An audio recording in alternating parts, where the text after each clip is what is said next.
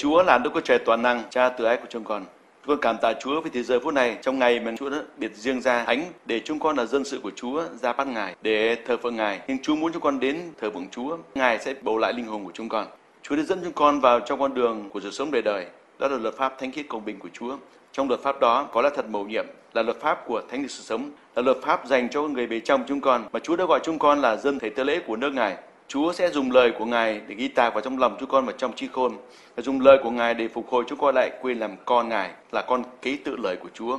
Vì Chúa đã dùng lời của Ngài để tạo nên muôn vật, ban sự sống cho muôn vật thế nào, thì Ngài cũng ban cho con là con cái của Chúa, quyền sở hữu lời của Chúa, để công bố lời của Chúa, hầu cho lời của Chúa tiếp tục gây dựng chúng con, bổ lại linh hồn chúng con, khiến chúng con đứng vững ở trước mặt Ngài luôn luôn. Cảm tạ Chúa vì sự khôn ngoan mưu luận của Chúa bày tỏ cho chúng con. Vì Chúa đã chọn chúng con từ trước sang thế và Ngài đã làm cho chúng con được vinh hiển. Đó là Ngài cho chúng con được quyền làm con của Ngài và Ngài dùng sự sáng vào trong lời hàng sống của Chúa để bao phủ chúng con, bảo vệ chúng con vì Ngài yêu chúng con. Lạy Cha Chi Thánh, cầu xin Cha ban ơn cho chúng con từ giờ có cần này để tất cả mọi sự yếu đuối và sự bất toàn của xây thịt chúng con giờ phút này được yên nghỉ. Và Chúa sẽ khiến cho tâm linh chúng con được tỉnh thức và Ngài sẽ ghi tạc lời Ngài trong lòng chúng con và trong trí khôn. Cầu xin Chúa ban ơn cho chính con là tôi tôi hèn mọn trước mặt Chúa. Hầu cho nhờ ơn của Ngài có thể dạn dĩ công bố lời hàng sống của Chúa là lời thuộc về nước đời đời ở trên thiên đàng, là lời mà xác thi này không thể nào hiểu được. Nhưng Chúa cho chúng con hiểu được vì vì thần của Ngài ở trong chúng con khiến tân binh chúng con được Ngài dạy dỗ dẫn dắt mà cai trị sát tin mình để công bố lời của Chúa qua môi miệng của chúng con. Vậy cầu xin Chúa ban ơn cho để người giảng, người nghe thấy đều được Chúa dắt dẫn vào trong các lá thật của lời Ngài. Lạy Chúa Thánh Linh, chúng con đang công bố lời của Chúa và chúng con đang bày tỏ những điều mà Chúa đã chép về chính Ngài, công việc lạ lùng của Ngài. Vậy xin Chúa làm chứng về chính Ngài cho chúng con, giúp con hiểu được công việc lạ lùng của Chúa. Hầu qua công việc đó, chúng con nhận biết rằng Ngài đang hiện diện và chúng con đang ở trong Ngài, cũng như Ngài ở trong chúng con vậy. Xin ý của Chúa được nên, lúc cả cha được đến trên hội thánh của Ngài. Con cái một Chúa và thành kính cầu nguyện trong danh của Chúa Jesus Christ. Amen.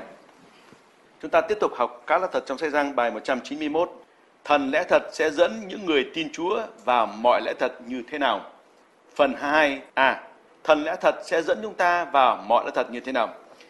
Kiến thánh nền tảng là sách Giăng đoạn 16 từ câu 12 đến câu 15. Ta còn có nhiều chuyện nói với các ngươi nữa, nhưng bây giờ những điều đó cao quá sức các ngươi. Lúc nào thần lẽ thật sẽ đến thì Ngài dẫn các ngươi vào mọi lẽ thật, vì Ngài không nói tự mình, nhưng nói mọi điều mình đã nghe và tỏ bày cho các ngươi những sự sẽ đến ấy chính Ngài sẽ làm sáng danh ta, vì Ngài sẽ lấy điều thuộc về ta mà rao bảo cho các người. Mọi sự cha có đều là của ta, nên ta nói rằng Ngài sẽ lấy điều thuộc về ta mà ra báo cho các người vậy. Qua các bài trước, chúng ta đã được lời của Đức Chúa Trời chỉ dạy cho biết lời của Đức Chúa Trời chính là nền tảng cho mọi sự cũng như cho muôn vật. Vì Đức Chúa Trời là đấng đã tạo nên muôn vật bằng thần của Ngài và bằng lời được nói qua môi miệng của Ngài vậy. Lời của Đức Chúa Trời là lẽ thật và lẽ thật là nền tảng căn bản cho tất cả mọi sự và cho muôn vật. Như lời của Chúa đã chép ở trong sách Thi Thiên đoạn 104 từ câu 24 đến câu 31. Hỡi Đức Giê-hô-va, công việc Ngài nhiều biết bao. Ngài đã làm hết thảy cách khôn ngoan, trái đất đầy dẫy tài sản Ngài. Còn biển lớn và rộng mọi bề này, ở đó sanh động vô số loài vật nhỏ và lớn. Tại đó tàu thuyền đi qua lại, cũng có Leviathan mà Chúa đã nắn nên đặng dẫn chơi nơi nó. Hết thảy loài vật này trông đợi Chúa, hầu cho Chúa ban đồ ăn cho chúng nó theo giờ. Chúa ban cho chúng nó, chúng nó nhận lấy. Chúa xòe tay ra, chúng nó được no nê vật tốt. Chúa giấu mặt, chúng nó bèn bối rối. Chúa lấy hơi thở chúng nó lại, chúng nó bèn tắt chết và trở về bụi đất. Chúa sai thần Chúa ra, chúng nó được dựng nên. Chúa làm cho mặt đất ra mới. Nguyện sự vinh hiển Đức Giê-va còn đến mãi mãi. Nguyện Đức Giê-va vui vẻ về công việc Ngài.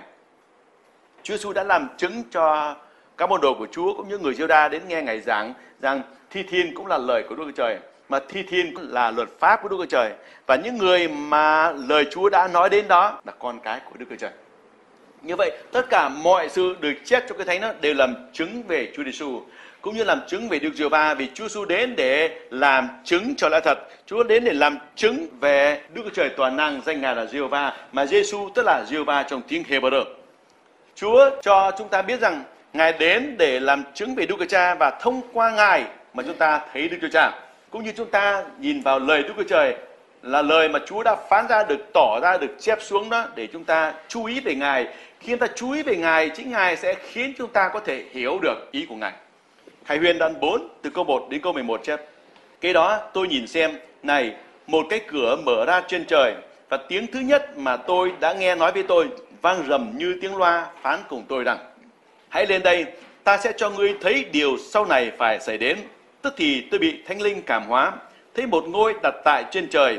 Trên ngôi đó có một đấng đang ngồi đó. Đấng ngồi đó rực rỡ như bích ngọc và mã não có cái mống dáng như lục bù thạch bao chung quanh ngôi. Chung quanh ngôi lại có 10, 24 ngôi. Trên những ngôi ấy tôi thấy 24 trưởng lão ngồi mặc áo trắng và đội mão triều thiên vàng từ ngôi ra những chớp nhoáng, những tiếng cùng sấm và bảy ngọn đèn sáng rực thắp trước ngôi, đó là bảy vị thần của đức chúa trời. Trước ngôi có như biển, trong ngần giống như thủy tinh. Còn chính giữa và chung quanh có bốn con sinh vật. Đằng trước, đằng sau, chỗ nào cũng có mắt. Con sinh vật thứ nhất giống như sư tử, con thứ nhì như bò đực, con thứ ba mặt như mặt người, con thứ tư như chim đại bàng đang bay. Bốn con sinh vật ấy, mỗi con có sáu cánh. Chung quanh mình và trong mình đều có mắt ngày đêm lúc nào cũng nói luôn không dứt, thánh thay thánh thay thánh thay là chúa, là đức chúa trời, đấng toàn năng. Trước đã có, nay hiện có, sau còn đến. Khi các vật ấy lấy những sự vinh hiển, tôn quý, cảm tạ mà dâng cho đấng ngự trên ngôi là đấng hàng sống đời đời, thì 24 trưởng lão sấp mình xuống trước mặt đấng ngự trên ngôi và thờ lạy đấng hàng sống đời đời. Rồi quang mão triều thiên mình trước ngôi mà rằng, lạy đức chúa trời là chúa chúng tôi. Chúa đáng được vinh hiển, tôn quý và quyền năng vì Chúa đã dựng nên muôn vật và ấy là vì ý muốn Chúa mà muôn vật mới có và đã được dựng nên. Lời Chúa làm chứng về công việc của Đức Chúa Trời tạo nên muôn vật. Điều đó để cho muôn vật trong đó có là người chúng ta trông cậy vào nơi Ngài. Vì Chúa hằng còn đến muôn đời, Ngài không thay đổi và muôn vật được tạo lên bởi Đức Chúa Trời và Chúa hằng còn nên muôn vật vẫn còn cho đến ngày nay. Chúa Giêsu đã đến thế gian này để làm chứng cho nó thật nghĩa là Ngài làm chứng về Đức Chúa Trời là đấng thần linh tối cao, đấng mà mắt thường người ta không thấy được. Thực tế Đức Chúa Trời đã dùng lời của Ngài làm chứng về Ngài rồi, nhưng tại vì dân Israel đã không để ý vào lời của Chúa. Cũng như ngày nay có rất nhiều người đã tiếp nhận Chúa Jesus Christ làm cứu Chúa của cuộc đời mình và họ trong những nhà thờ, những hội thánh và người ta thờ vừng Chúa giống hệt như dân Israel khi xưa đã tiếp nhận luật pháp của Đức Trời và họ cho rằng họ tiếp nhận luật pháp đó và làm theo các thủ tục mà Đức Trời đã mang lệnh về sự thờ phượng đó là một điều kiện để họ nhận đi xứ Canaan là xứ đượm sữa và mật. Chúa không muốn chúng ta nhận luật pháp của Chúa như một điều kiện để nhận lấy điều gì thuộc về xác thịt này. Mà Chúa muốn chúng ta hiểu biết rằng Chúa ban lời của Ngài cho chúng ta là điều kiện để chúng ta nhờ sự làm theo lời của Chúa mà được sống lại. Không phải bởi công việc làm. Rất nhiều người ngày nay đã cố gắng làm những công việc của thuộc về hội thánh, những công việc thuộc về xác thịt như là dâng hiến tiền bạc, dâng hiến mình đi làm công việc này, công việc kia cho nhà Chúa hoặc đi truyền giáo. Họ tưởng là như vậy đó, là đẹp lắm Đức Chúa Trời? Nhưng kỳ thực rằng tất cả mọi công việc chúng ta làm đó là việc đáng phải làm. Nhưng cái mục tiêu quan trọng nhất chúng ta làm theo lời của Chúa là để hưởng cái quyền năng trong lời của Chúa biến đổi cuộc đời của chúng ta. Nhiều những đứa trẻ ngày hôm nay vì muốn được bố mẹ cho quà nên cố gắng làm điều này, làm điều kia, học cho giỏi hoặc là ăn để bố mẹ cho quà, bố mẹ cho đi chơi nhưng mà thực tế ra có nhiều bậc cha mẹ đã trong khi dạy con cái nuôi dưỡng con cái đã, đã không để ý đến cái tình tiết rất tế nhị này nên khiến các em từ khi còn nhỏ hiểu sai về mục đích của cha mẹ. Để nó ăn nó học để làm gì? Chúng ta phải dạy thì con cái chúng ta là nó học để nó gia tăng kiến thức cho nó để khi nó lớn lên nó không bị người đời khinh rẻ nhưng nó có trưởng thành cho sự biết để chính nó sống vững vàng ngay cả khi một mình nó sống. Trong thời gian nó vẫn an toàn được mà lên người mà được bảo vệ bởi kiến thức nó đã học. Thứ hai nó ăn, nó để cho thức ăn đó là thức bổ đó, vào cơ thể của nó để khiến nó khỏe mạnh, nó lớn lên, nó đẹp đẽ. Tôi dạy con trai tôi, con là con phải ăn tất cả mọi thứ rau, tất cả mọi thứ bố mẹ ăn đó, vì nó là chất bổ. Có những cái chúng ta không muốn ăn bởi vì nó không ngon không ngọt. Nhưng mà chúng ta phải ăn bởi vì nó có chất bổ, nó có tác dụng cho cơ thể của chúng ta. Nó đắng, nhưng mà nó khiến nó bổ cho cái gan. Nên chúng ta phải dạy con gan ta về cái giá trị quan trọng của việc tại sao nó phải học tại sao nó phải ăn không phải cho bố mẹ mà cho chính cơ thể của nó Chúa ban lời của Ngài cho chúng ta ấy để chúng ta nhờ sự làm theo lời của Ngài mà được sống lại, được sống thành công, thịnh vượng và được sự sống đời đời. Không phải đến đây dự thính để rằng tôi có đến trong ngày thánh của Chúa đó nên tôi không phạm luật. Chúa bảo chúng ta tránh luật mà hãy đi trong luật đó để nhờ quyền pháp luật của Chúa đó. Thứ nhất, Ngài hợp pháp loại bỏ của lực ma quỷ ở trong thân thể của chúng ta. Bởi vì khi chúng ta đi trong con đường luật pháp của Chúa đó, đến kỳ sự phán xét công bình Chúa đã định cho cái tội lỗi của người đó là hết rồi, ma quỷ phải ra khỏi người đó. Dù chúng ta không hiểu biết được, nhưng Chúa hiểu biết. Nhưng mà trong khi chúng ta đi như vậy đó, ma quỷ không còn có thế để ràng buộc, trói buộc chúng ta nữa. Nó từng trong chúng ta bởi sự chúng ta thiếu biết, bởi tội lỗi của tổ phụ chúng ta rồi. Nhưng khi chúng ta đi theo Chúa, phải hiểu tại sao tôi đi theo lời của Ngài. Nó có cái tác dụng gì? Ngài sẽ đẹp lòng cách thực lòng nếu chúng ta hiểu biết lời của Chúa để đi theo cái tự nguyện, cái vui mừng để được sạch tội và được được trở nên con cái Đức Chúa Trời, Ngài sẽ vui. Không phải vì chúng ta trung tín nhau lại mà Ngài vui. Nếu ta không hiểu biết lời của Đức Chúa Trời. Chúng ta ăn nuốt lời của Chúa để chúng ta được trưởng thành trong sự hiểu biết Đức Chúa Trời. Không phải chúng ta trung tín nhau lại thờ phượng Chúa để là Ngài biết à người này ngoan đạo. Chúa không cần cái sự ngoan đạo của chúng ta hãy cần chúng ta được trưởng thành tái sanh và sanh mừng trái cho đất Ngài. Đó là mục đích chính mà Chúa muốn ta đến với lời của Ngài. Tại đây chúng ta nhìn thấy lời của Chúa ban cho chúng ta. Muôn vật đều bối rối khi Chúa quay mặt đi. Chúng ta sẽ cảm thấy bối rối như thế nào? Đơn cử, quý vị đang để có để tôi Chúa giảng cho quý vị hàng tuần liên tục. Đột nhiên nếu mà một cái lý do gì đó Chúa khiến để tôi Chúa đi đâu công tác xa trong vòng một tháng liên tục không có bài nào giảng quý vị chịu được không? Khó chịu ngay lập tức. Cảm thấy bị đuối sức ngay lập tức, hoang mang ngay lập tức. Bởi vì không thích ngọn đèn của Chúa hành động. Cho đến khi nào chúng ta thèm khát lời của Chúa, giống như muôn vật đấy, bão này, lũ này, chìm ngơ ngác ngay lập tức, không có đồ ăn. Nếu khi nào chúng ta thèm khát lời Chúa đến mức độ như các con vật đó, thấy chúng mảnh mà đi, nó lo sợ đó, thì bây giờ Chúa sẽ cho chúng ta thỏa cái vật ngon. Bất cứ lời nào Chúa nói chúng ta, chúng amen, cũng ăn ngon hết. Ở đây có câu là, của không ngon nhưng mà nhà nhiều con ăn cũng hết. Vậy thì mình phải dạy cho con cái ta hiểu biết này đang khi còn có lời hứa cho sự nghỉ Chúa hãy lo sợ. Vì bài này không được giảng lại. Đừng nghĩ rằng à, à, ngày mai tôi sẽ nghe lại. Những ngày mai ngày mốt hai ba ngày liên tục mất điện thì sao? Lấy gì nghe. Để trong khi được nghe nghe cho thùng nghe cho rõ nghe cho thuộc luôn đi. Để cho linh hồn mình được đứng vững trong ngày hôm nay. Thì ngày mai mình được sao biết được một trận chiến nào sẽ xảy ra mà những đã thật này là khi chiến cho chúng ta. Tại sao các con sinh vật ở trên thiên đàng kia luôn miệng nói rằng thánh thay thánh thay thánh thay là chúa là đức trời đứng toàn năng chưa đã có ngày hiện có, sao còn đến? Tại sao họ nói như vậy được? Mình thắc mắc của tại sao vậy, chúa? Hôm nay chúa dựng nên con vật đó chỉ suốt ngày ca tụng chúa thì sao? Chúa con có hiểu không? Chính những lời đó sẽ khiến các vật đó có sức sống. Vì xác thịt của mình, tôi cảm thấy nói nhiều đó, nó cái nhiều cái câu như vậy, nói nhắc đi nhắc lại là nhàm. Bởi vì xác thịt là xác thịt, nói nhiều sẽ mệt nhưng mà thần linh thì không phải như vậy. Vì lời chúa là lời của sự sống. Danh ngài là danh quyền năng, danh khiến người ta được sung sức bởi vì khi ta nhắc đến lời của Chúa, chúng ta có sức. Giảng suốt ngày được, có sức. Vậy thì ở trong thiên đàng, ở trong sự bình của Chúa, nó để danh Chúa, nó càng có sức như thế nào? Bởi cái đó nên người ta có thể nói suốt ngày đêm được, không mệt. Là bởi vì sao? Lời của Chúa là sự sáng sự sáng là sự sống. Nên khi ta đọc lời của Chúa, thấy nhiều cho nên ta viết cảm ơn Chúa cái gì cảm ơn Chúa cả? Bây giờ mới hiểu là cảm ơn Chúa khi cảm ơn Chúa lập tức chúng ta có sức lực. Bởi vì khi chúng ta nói đến danh Chúa ngài hiện diện cạnh chúng ta. Ngài đứng hàng sống chỉ có người xác thịt thích làm sự ô uế, sự tối tăm đó, thì người ta mới nói câu là gần lửa thì rát mặt nhưng còn người yêu chúa là gần đèn thì sáng. Tôi gần lời chúa, tôi được sáng. Mỗi xe ở trên núi Sinai 40 ngày 40 đêm rồi mà chúa thì sự sáng của chúa ở trên ông. Khi ông xuống dưới lên xe sợ hãi vì mặt ông sáng lòa ra, ông phải lấy cái mũ và con lúp che mặt ông được. Nên chúa cho người ta thấy rõ ràng là lời của chúa có quyền năng, có sự sáng đó. Khi chúng ta đối diện lời của chúa, chúng ta được sức mới như thế nào? Và Chúa Giêsu đến thế gian này để làm chứng cho là thật. Làm chứng có nghĩa là gì? Ngày nay có rất nhiều người đi ra làm chứng về Chúa Giêsu, đi ra làm chứng, nói về Chúa đó. Cái người nghe thì được được ơn, thì hiểu biết về Chúa. Cái còn cái người đó về nhà thì bị bệnh, bị mệt. Bởi vì họ không làm chứng thật về Chúa.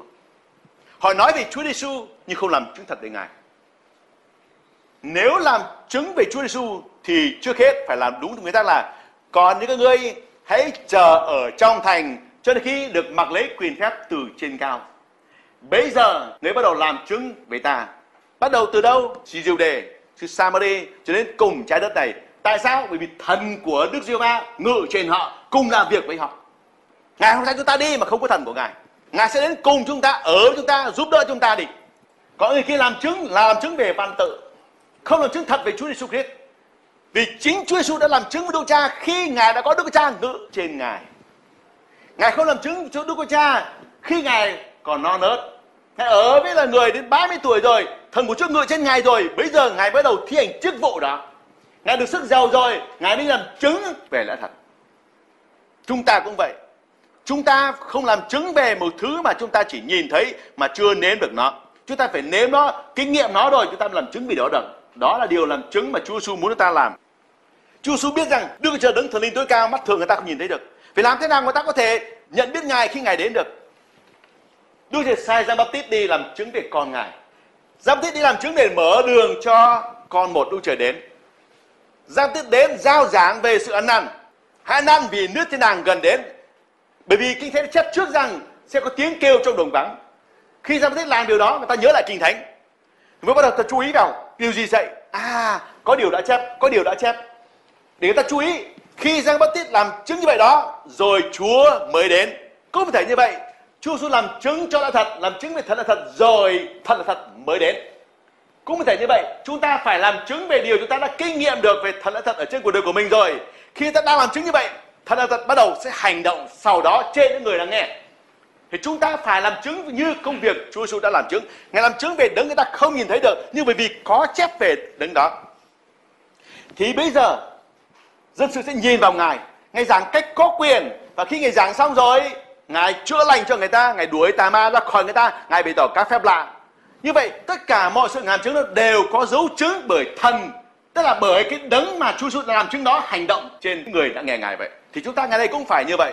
Đừng vội vàng đi ra vội. Có nhiều người sốt sáng khi nghe lời Chúa cảm động quá muốn đi ra. Chúa bảo đừng, đừng vội đi ra, hãy để Chúa sai đi.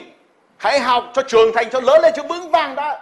Bằng lý luận của Chúa, bằng quyền phép của Chúa, kinh nghiệm trên cuộc đời của mình rồi Bây giờ mình làm chứng không phải nói điều mình đã nghe được người ta mà làm chứng là chính Chúa làm động ở trên mình qua điều mình đã nghe và chính Ngài bày tỏ Ngài ở trong cuộc đời chúng ta.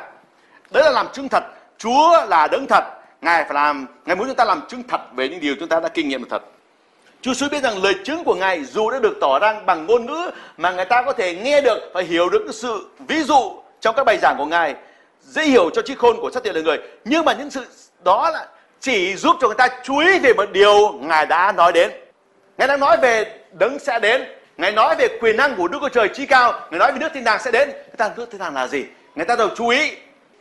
Chúa cảnh báo trước, Chúa nói trước rồi. Thì những sự Chúa đã nói đấy sẽ đến. Thì chúng ta cũng phải hiểu rằng tất cả những gì mà Chúa đã cho phép được giảng ra ấy là đều cảnh báo trước những điều Ngài sẽ làm theo. Nên ta phải cẩn thận về chúng ta đang nghe về công việc của Đức Thánh Linh Vậy thì Ngài sẽ đến để làm chứng về chính Ngài. Vì những điều này Chúa đã bày tỏ cho tôi tớ của Chúa để nói, để dọn đường, để Chúa đến. Ngay sau khi chúng ta vừa nghe, Ngài sẽ hành động trên chúng ta. Để làm gì? Để trang bị cho chúng ta những gì mà Chúa đã cho chúng ta nghe. Chúa không nói giới thiệu về Ngài. Ngài đang nói về Ngài để Ngài đến trang bị chính Ngài cho chúng ta. Ngày nay thế gian sử dụng rất nhiều các chương trình quảng cáo để bán hàng của họ, thu lợi về cho họ. Nhưng Chúa lại nói về chính Ngài để Ngài ban chính Ngài cho chúng ta. Bởi vì Ngài biết rằng ngoài Ngài ra chúng ta không làm chi được cả. Vì chúng ta là con của Ngài, Ngài biết chúng ta không có Ngài chúng ta không làm được. Nên Chúa nói về chính Ngài sẽ làm chúng ta có cảm động không? Có ước muốn không? Nếu ta cảm động, ước muốn, nhìn biết rằng mình là bất toàn, mình rất cần Ngài, thì bây giờ Ngài sẽ đến chỉ chúng ta. Vì Ngài thấy rõ tấm lòng của chúng ta, Ngài cân nhắc cái lòng của chúng ta. Đức Chúa Trời là đấng khôn ngoan và vô đận, biết rõ lòng loài người xác thịt, sẽ không thể sử dụng trí khôn bị hạn chế của mình mà hiểu được những sự lạ lùng trong lẽ thật. Bởi vì tất cả cái gì khả năng của con người ta dù học kiến thức của đời này cao siêu đến bằng cấp nào chẳng nữa cũng không thể hiểu được sự mà họ chưa bao giờ nhìn thấy, không thể tưởng tượng được. Tất cả các bằng cấp ngày nay trên đất này đều là cũ hết. Vì học lại của những thầy, chẳng có gì mới dưới ánh mặt trời cả. Họ học lại của người ta, dù có bằng cấp cao đến đâu, chỉ chỉ cao hơn những người chưa học đến đó mà thôi. Nhưng mà những sự đó chưa phải là điều họ cần phải có. Những điều cần phải có đó là điều thuộc về sự sống đời đời cho tâm linh của người ta. Bởi đó Đức Chúa Trời biết rõ cái sự hạn chế của loài người. Nên ngay từ khi Đức Chúa Trời giải cứu dân Israel ra khỏi Egypto và đem họ đến nơi đồng vắng Sinai, thì Đức Chúa Trời đã ban luật pháp của Ngài cho họ và Đức Trời cũng đã tỏ cho họ biết rằng nếu họ vâng giữ các bằng lệnh cùng các điều răn của Ngài thì họ sẽ nhờ lời của Ngài mà được phục hồi sự sống, được sự sống thành công, sự sống phước hạnh, sự sống đời đời. Và mục đích của việc Đức Trời ban luận lẽ thật của Ngài cho lời người ấy là để lời người nhờ quyền năng trong lời của Ngài mà được sự sống lại, được sự sống đời cho tâm linh của mình. Nhưng mà dân sen ta không chú ý vào ý nghĩa mầu nhiệm của lời Đức Trời nên họ không biết được ý muốn thật của lời Chúa. Ngày nay cuộc sống của loài người chúng ta có nhiều người cũng học lên cách khôn ngoan. Trong rất nhiều công việc, người ta bày tỏ những ý định của họ.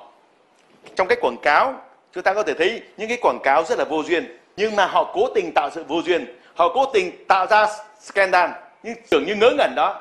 Chính vì sự hay ngớ ngẩn trong quảng cáo đó mà khiến người ta hay để ý đến.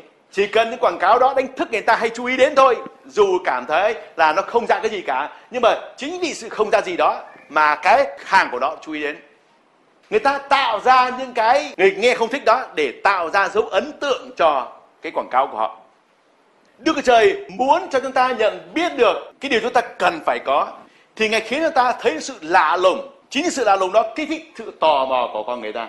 Những người khôn là những người nhận biết rằng nếu là Đức Chúa Trời khôn ngoan bổn lận thì chẳng có sự gì là khởi dại cả. Như vậy những cái lời mà cảm thấy lạ lùng đây, chắc chắn rằng có điều gì giấu trong đó đây thì ấy là người khôn ngoan có những người mà dại dột cậy mình được khôn ngoan ấy, thấy những lời đó cảm thấy rất là đơn giản đó thì không yêu thích Thế trong sách tiên tri Esai nói một câu ví von về lời của Chúa rằng khi người ta thấy Ngài chẳng có sự gì người ta ưa thích cả. Tức là nói về lời văn tự này, chứ phải nói về hình ảnh của Chúa Giêsu thật. Hình ảnh của Chúa Giêsu gọi là Ngài đẹp nhất muôn người. Vì Ngài đứng tạo lên loài người tuyệt vời, đến Ngài bao giờ cũng đẹp. Nhưng mà khi nói đến văn tự này thì nó không trau chuốt như là tiểu thuyết, không phải là văn học có nhiều khi chúng ta cảm thấy nó rất là cộc lốc, nhưng mà trong những cái cộc lốc đó thì chúng ta hiểu ngài là cái cửa, ngài là con đường. Nếu chúng ta hiểu được điều này thì ta chú ý lời của Chúa thế là khôn ngoan. Chúa sẽ bày tỏ cho chúng ta. Mục đích của việc Đức Chúa ban lẽ thật của ngài cho là người, ấy để là người nhờ quyền năng trong lời của ngài mà được sự sống lại và được sự sống đời đời cho tâm linh mình. Có nhiều khi chúng ta thắc mắc, nhất là người mới tin Chúa sẽ thắc mắc là, tại sao luật pháp của Chúa là văn tự? Ngài nói lời của Ngài là con đường. Mà tại sao lời của Ngài là bánh hàng sống? Lạ lùng ở cái chỗ này. Làm thế nào chúng ta có thể nhận biết được Lời của Chúa đây là bánh hàng sống? Mặc dù chúng ta biết luật pháp, Văn tự của Chúa là con đường. Nhưng mà nếu chúng ta đi trên con đường đó, Thì giống như là tâm linh chúng ta được ăn bánh hàng sống của Chúa vậy. Khi chúng ta đi trên con đường luật pháp của Chúa, Chúng ta vẫn phải làm việc của xác thịt mình. Và chúng ta phải có lương thực thực phẩm nuôi sống xác thịt mình. Nhưng có một điều khiến ta có sức lực ham mê lời của Chúa là bởi vì chính thần của Chúa khiến ta nhận được sức mới cho tâm linh của chúng ta. Cũng giống như người ta ăn bánh vậy đó. Ta nhớ chuyện hoàng quan Ethiopia không? Ông ta là một người cai quản tất cả mọi công việc của một nữ vương ở bên Ethiopia. Ông sang thành Jerusalem để ông thờ phượng Đức Giê-hô-va. Chỉ khi đường trở về, ông không hiểu lời của Chúa. Đức trời sai tiên sứ phán với tiếp sự, Philip, hãy đuổi theo vị hoàn quan đó. Hoàn quan thì ngồi trên xe đang chạy như vậy Philip cứ chàng sao? ông làm gì đấy? Ông đọc sách gì đấy? Ông ta đang nói về người tiên tri sai nói về một cái đấng, nói về Chúa Giêsu Philip hỏi ôi mà nếu không ai giải nghĩa cho là sao hiểu được? Thế rồi bắt đầu, Philip bắt đầu giảng, ông ta mời Philip lên xe ngồi cùng. Lên xe ngồi cùng và giảng dạy cho ông vị hoàng quan Ethiopia này. Và khi vị hoàng quan hiểu được rồi, ông nói này, vậy nước đây có điều gì ngăn trở khiến tôi không được bắp tem không? Thế là hai người cùng xuống nước để bắp tem bắp tem xong rồi thánh linh cất Philip bay đi luôn vào trong thành khác đi. Hòn can mừng quá thì chẳng biết philip ai nữa, lên xe đi lên cứ hân hở về nhà thôi, quên tất cả mọi sự.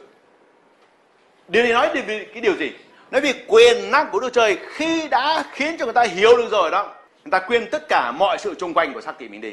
Có sự vui mừng ở trong tâm linh của người ta, đó là dấu hiệu của sự sanh lại trong của tâm linh mình. Bởi đó, Chúa muốn dân sự của Chúa ta là dân Israel đó, làm theo luật pháp của Đức Chúa Trời đi.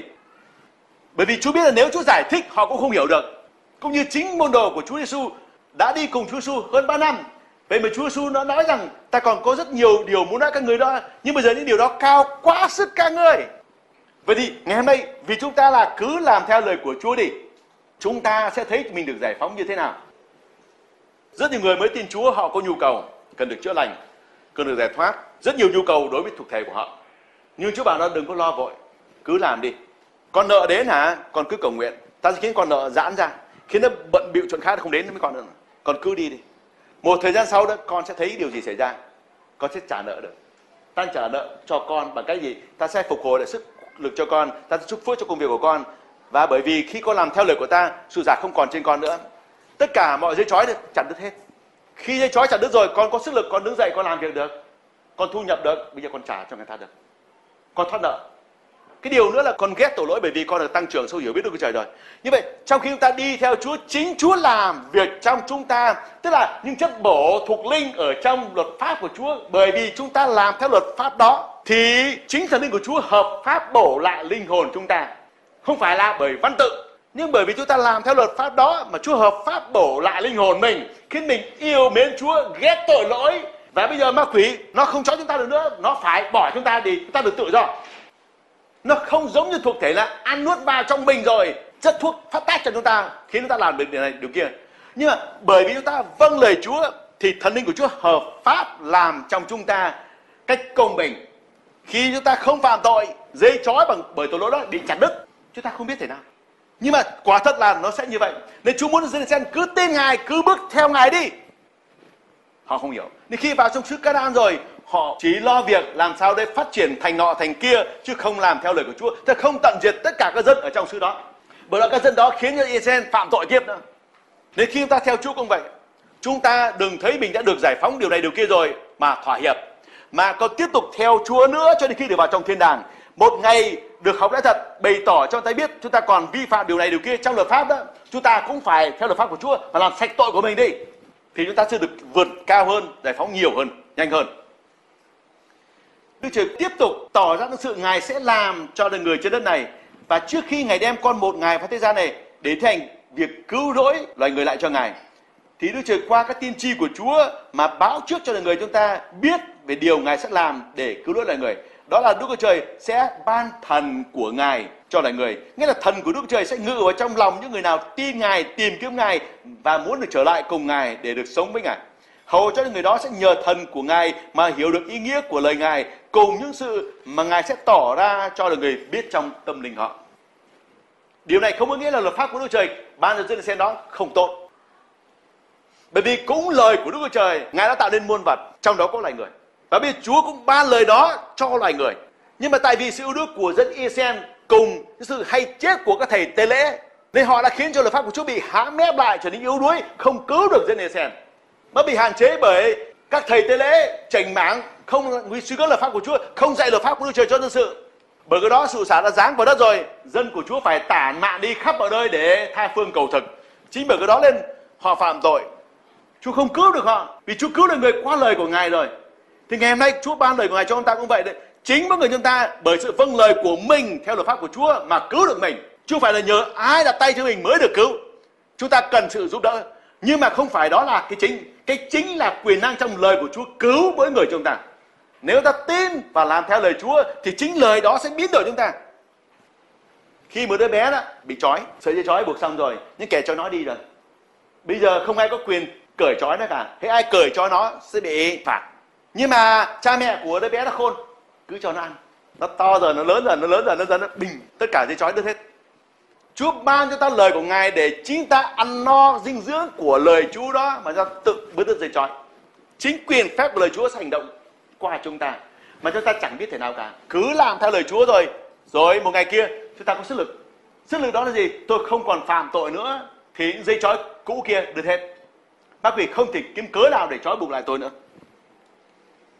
Châm ngôn đoạn 1, câu 20 đến 23 chép. Sự khôn ngoan hô lên ngoài đường, cất tiếng rội ra nơi phố chợ khôn ngoan kêu la ở đầu đường rộn rực ồn ào tại cửa thành và nội trong thành người phán lời mình ra mà rằng, hỡi kẻ ngu dốt, các ngươi sẽ mến sự ngu dại cho đến bao giờ.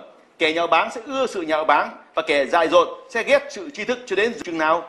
Nhân vì ta trách các ngươi các ngươi khá trở lại. Kìa, ta sẽ đổ thần linh ta trên các ngươi, ta sẽ làm cho các ngươi biết những lời của ta. Để cho người ta có thể trở lại cùng chúa được. Chúa không dùng đạo dụ. Chúa không dùng người ra cứ khêu đi đến nhà thờ đi đến với Chúa Giêsu được phước lắm. Chúa dùng lời của Ngài của trách người ta. Chúa dùng các tôi tớ ngay thẳng ở trước mặt Chúa đó, trung thành với Chúa đó, công bố lời của Chúa ra của trách họ. Chúa dùng các tiên tri của Chúa của trách các vua. Thánh linh cáo trách lòng người ta. Người ta sẽ quay trở lại. Trong hai luật, luật pháp văn tự và luật pháp của thánh linh giống, luật nào cáo trách người ta? Luật pháp văn tự. Vì luật pháp văn tự chỉ cho người ta biết tội lỗi thế gian biết đã thật đâu. Nhưng mà khi đọc luật pháp văn tự luật pháp ở trong kinh thánh này, họ sợ hãi. Vì lời của chúa là sự sáng, là luật pháp công bình của chúa. Chỉ cho người ta biết tội lỗi. Nên dân sự của Chúa phải học luật pháp của Chúa. Thánh linh sẽ cáo trách người ta vì cớ luật pháp này, vì sự công bình của Chúa nữa. Luật pháp của Chúa phải được công bố, phải giảng ra. Nên Chúa dạy chúng ta là phải dạy cho trẻ thơ, con đường nó phải theo. Dân sự của Chúa phải giỏi luật pháp. Bởi vì chúng ta được gọi là dân thầy tế lễ mà chữ thầy tế lễ trong tiếng Hebrew là văn phòng luật sư, là luật sư. Luật sư làm cái việc gì? Tôn cao luật pháp của quốc gia nào? Chúng ta phải giỏi luật. Nên Chúa gọi chúng ta là dân thầy tế lễ, tức là dân luật sư vậy đó. Khi chúng ta trở lại cùng Chúa rồi, thì Ngài mới đổ thân của Ngài ở trên chúng ta được. Chúa Giêsu đã làm chứng về công việc của Thánh Linh là Ngài không nói tự mình.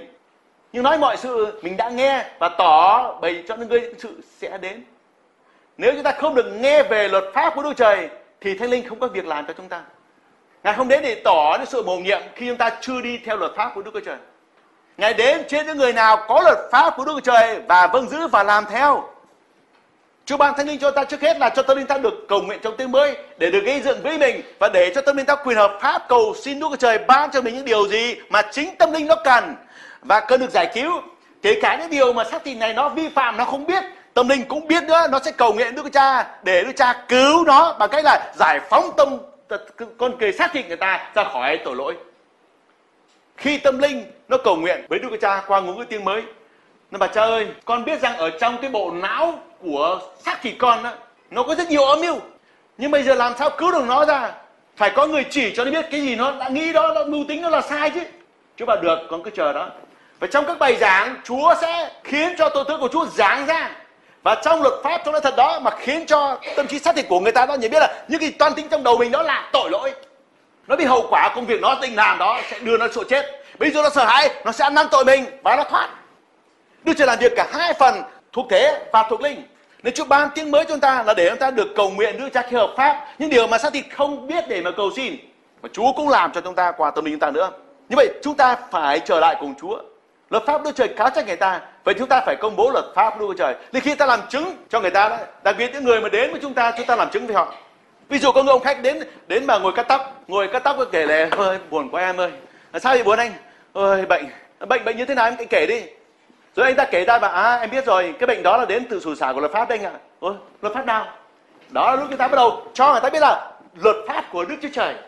Ngài đã công bố ra dù người ta không biết ngài thì cũng phải vì cái không biết đó mà không có luật đó trên người ta ví dụ đi cái sừng dây, dây thép đi sang qua đây anh tưởng dây phơi à không phải dây điện đấy anh thử vào đây dở cái giật luôn. Anh có thấy điện không? Không thấy điện. Nhưng vì nó là dây điện mà anh không biết là dây điện anh sờ vào thì điện trong dây đó vẫn giật anh. Không cần biết anh biết hay không biết nó có điện. Luật pháp của Chúa cũng vậy. Đã phán ra khỏi miệng ngài rồi nó vẫn còn ở chung quanh cái bầu trời trong quanh vũ trụ này cải trị muôn vật. Anh phải biết thì anh sống làm theo lời Chúa thì anh sống. Bây giờ anh đừng có lo đi bệnh viện anh lo đến một cái bác sĩ có thể chữa được tất cả mọi bệnh cho anh đó là Đức Chúa Trời Ngài phán với Giê-xe là nếu ngươi cẩn thận làm theo tiếng phán của ta và vâng giữ cái bằng lệnh điều lệnh của ta thì ta sẽ không để bất cứ một thức bệnh nào ở trên thân thể của ngươi đâu vì ta là đấng chữa bệnh cho ngươi. Chúa phán như vậy, anh tin không? Tôi đọc cho anh. Anh muốn đi chữa lành không? Đến với Chúa đi. Đến và mua bánh, đến mua sữa, mua rượu mà không phải trả tiền. Ủa vậy hả? Vậy Chúa cho người ta uống rượu à không? Cái rượu đó là rượu nho. Rượu nho là rượu khống trí người ta, tức là tâm linh của người ta. Anh đến đi sữa để nuôi cho xác thịt mình còn rượu đó khiến cho tâm linh mình nó được vui mừng. Nó hình bóng đấy. Anh đến đi đến với tin lành của chúa đấy. Đến với tin lành chứ đừng đến với tin dữ. Chúng ta có thể làm chứng cho họ được. Từng bước một rất là đơn giản. Đến đi đến để nghe lời chúa đi. Chúa sẽ khiến người ta nghe và hiểu được. Đức Trời cũng báo trước rằng Ngài sẽ gọi những người được Ngài chọn lựa để thân của Ngài sẽ ngự trên họ khiến họ trở nên các tôi tớ của Ngài để đem sự cứu rỗi đến cho muôn dân. Esai đoạn 42 câu 1 đến câu 7 chép, Này, đầy tớ ta đây là kẻ ta nâng đỡ, là kẻ ta chọn lựa, là kẻ mà linh hồn ta lấy làm đẹp lòng. Ta đã đặt thần ta trên người. Người sẽ tỏ ra sự công bình cho các dân ngoại. Người sẽ chẳng kêu la, chẳng lên tiếng, chẳng để ngoài đường phố nghe tiếng mình. Người sẽ chẳng bẻ cây sậy đã dập và chẳng rụt tim đèn còn hơi cháy. Người sẽ lấy lẽ thật mà tỏ ra sự công bình người chẳng mòn mỏi chẳng ngã lòng cho đến chừng nào lập xong sự công bình trên đất các cù lao sẽ trông đợi luật pháp người. Diêu va Đức Chúa Trời là đấng đã dựng nên các tầng trời và dương ram, đã trải đất với mọi sự ra bởi nó, đã ban hơi sớm cho dân ở trên nó và thần linh cho mọi loài đi trên nó có phán như vậy. Ta, Đức Diêu va đã kêu gọi ngươi trong sự công bình, ta sẽ nắm tay ngươi và giữ lấy ngươi, ta sẽ phó ngươi làm giáo ước của dân này, làm sự sáng cho các dân ngoại, để mở mắt kẻ mù, làm cho kẻ tù ra khỏi khám, kẻ ngồi trong tối tăm ra khỏi ngục. Chúa đã làm trước hết qua con một ngài là Chúa Jesus Christ và thông qua Chúa Jesus Christ mà những người nào được ngài chọn gọi thì thần của Chúa cũng ngự trên người đó thầy đó. Và nhiệm vụ của những người đó là làm sự sáng cho một dân. Chúa Jesus đã phán với các môn đồ của Chúa được chép trong Ma-thiêu đoạn 15 là các ngươi được muối của đất vào sự sáng thế gian. Chúa trang bị cho chúng ta rồi. Và bây giờ đèn cháy sáng rồi. Ngài không để chúng ta trong thùng cất đi đâu. Ngài đặt chúng ta lên chân đèn để soi sáng mọi người trong nhà. Đức chúa đang từng bước một nhắc nhở đời người biết cái sự cuối cùng của họ là sự chết đời đời. Nếu họ không nhận biết đức chúa trời mình để trở lại với ngài mà được sống, Đức Trời phán rằng Ngài sẽ đến trên đất này để thi hành sự phán xét công bình của Ngài và Ngài sẽ đổ thần của Ngài trên những người nào tìm kiếm Ngài. Vì nhờ thần của Ngài giúp đỡ mà những người đó sẽ hiểu biết được ý nghĩa của lời Ngài. Nghĩa là người ta sẽ biết lẽ thật. Tức là những sự lạ lùng cho luật pháp của Chúa đó. Chúa từng bước một, từng bước một dẫn chúng ta. Chúng ta nhớ lại chuyện khi Chúa Giêsu bị đóng đinh thập giá và người ta đưa vào thầy vào trong bộ mả. Các môn đồ trở về quê. Trong đó có hai môn đồ trên đường về Emau đó. Vừa đi và nó chán thật mấy ông già. Mấy ông thầy đấy là kỳ cục thật. Tự nhiên đi giết ngài như vậy đó. Họ đi theo Chúa để được làm quan để làm được ở trong nước, ngài họ tưởng là Chúa đến để tái lập vương quốc Israel. Bây giờ mất thầy rồi, buồn quá đi về. Chúa muốn đem hai người đó trở lại. Ngài đi cùng họ, ngài nói chuyện với họ. Ngài bắt đầu nói tất cả mọi điều về kinh thánh đã chép họ đã được nghe. Chúa nhắc dần nhắc dần để tỉnh thức họ lại. Cho nên khi vào trong nhà quán rồi, ngài bẻ bánh ra rồi họ sẽ bị họ mất ra. Ngài biến đi. Để kéo người ta lại, Chúa cũng dùng lời của ngài để nói từng bước một. Trang bị lại cho người ta nhớ dần nhớ dần nhớ dần để đem lòng chúng ta trở lại cùng Chúa Chúa ban lời Ngài cho chúng ta từng bước một, từng bước một đưa chúng ta lại gần Ngài.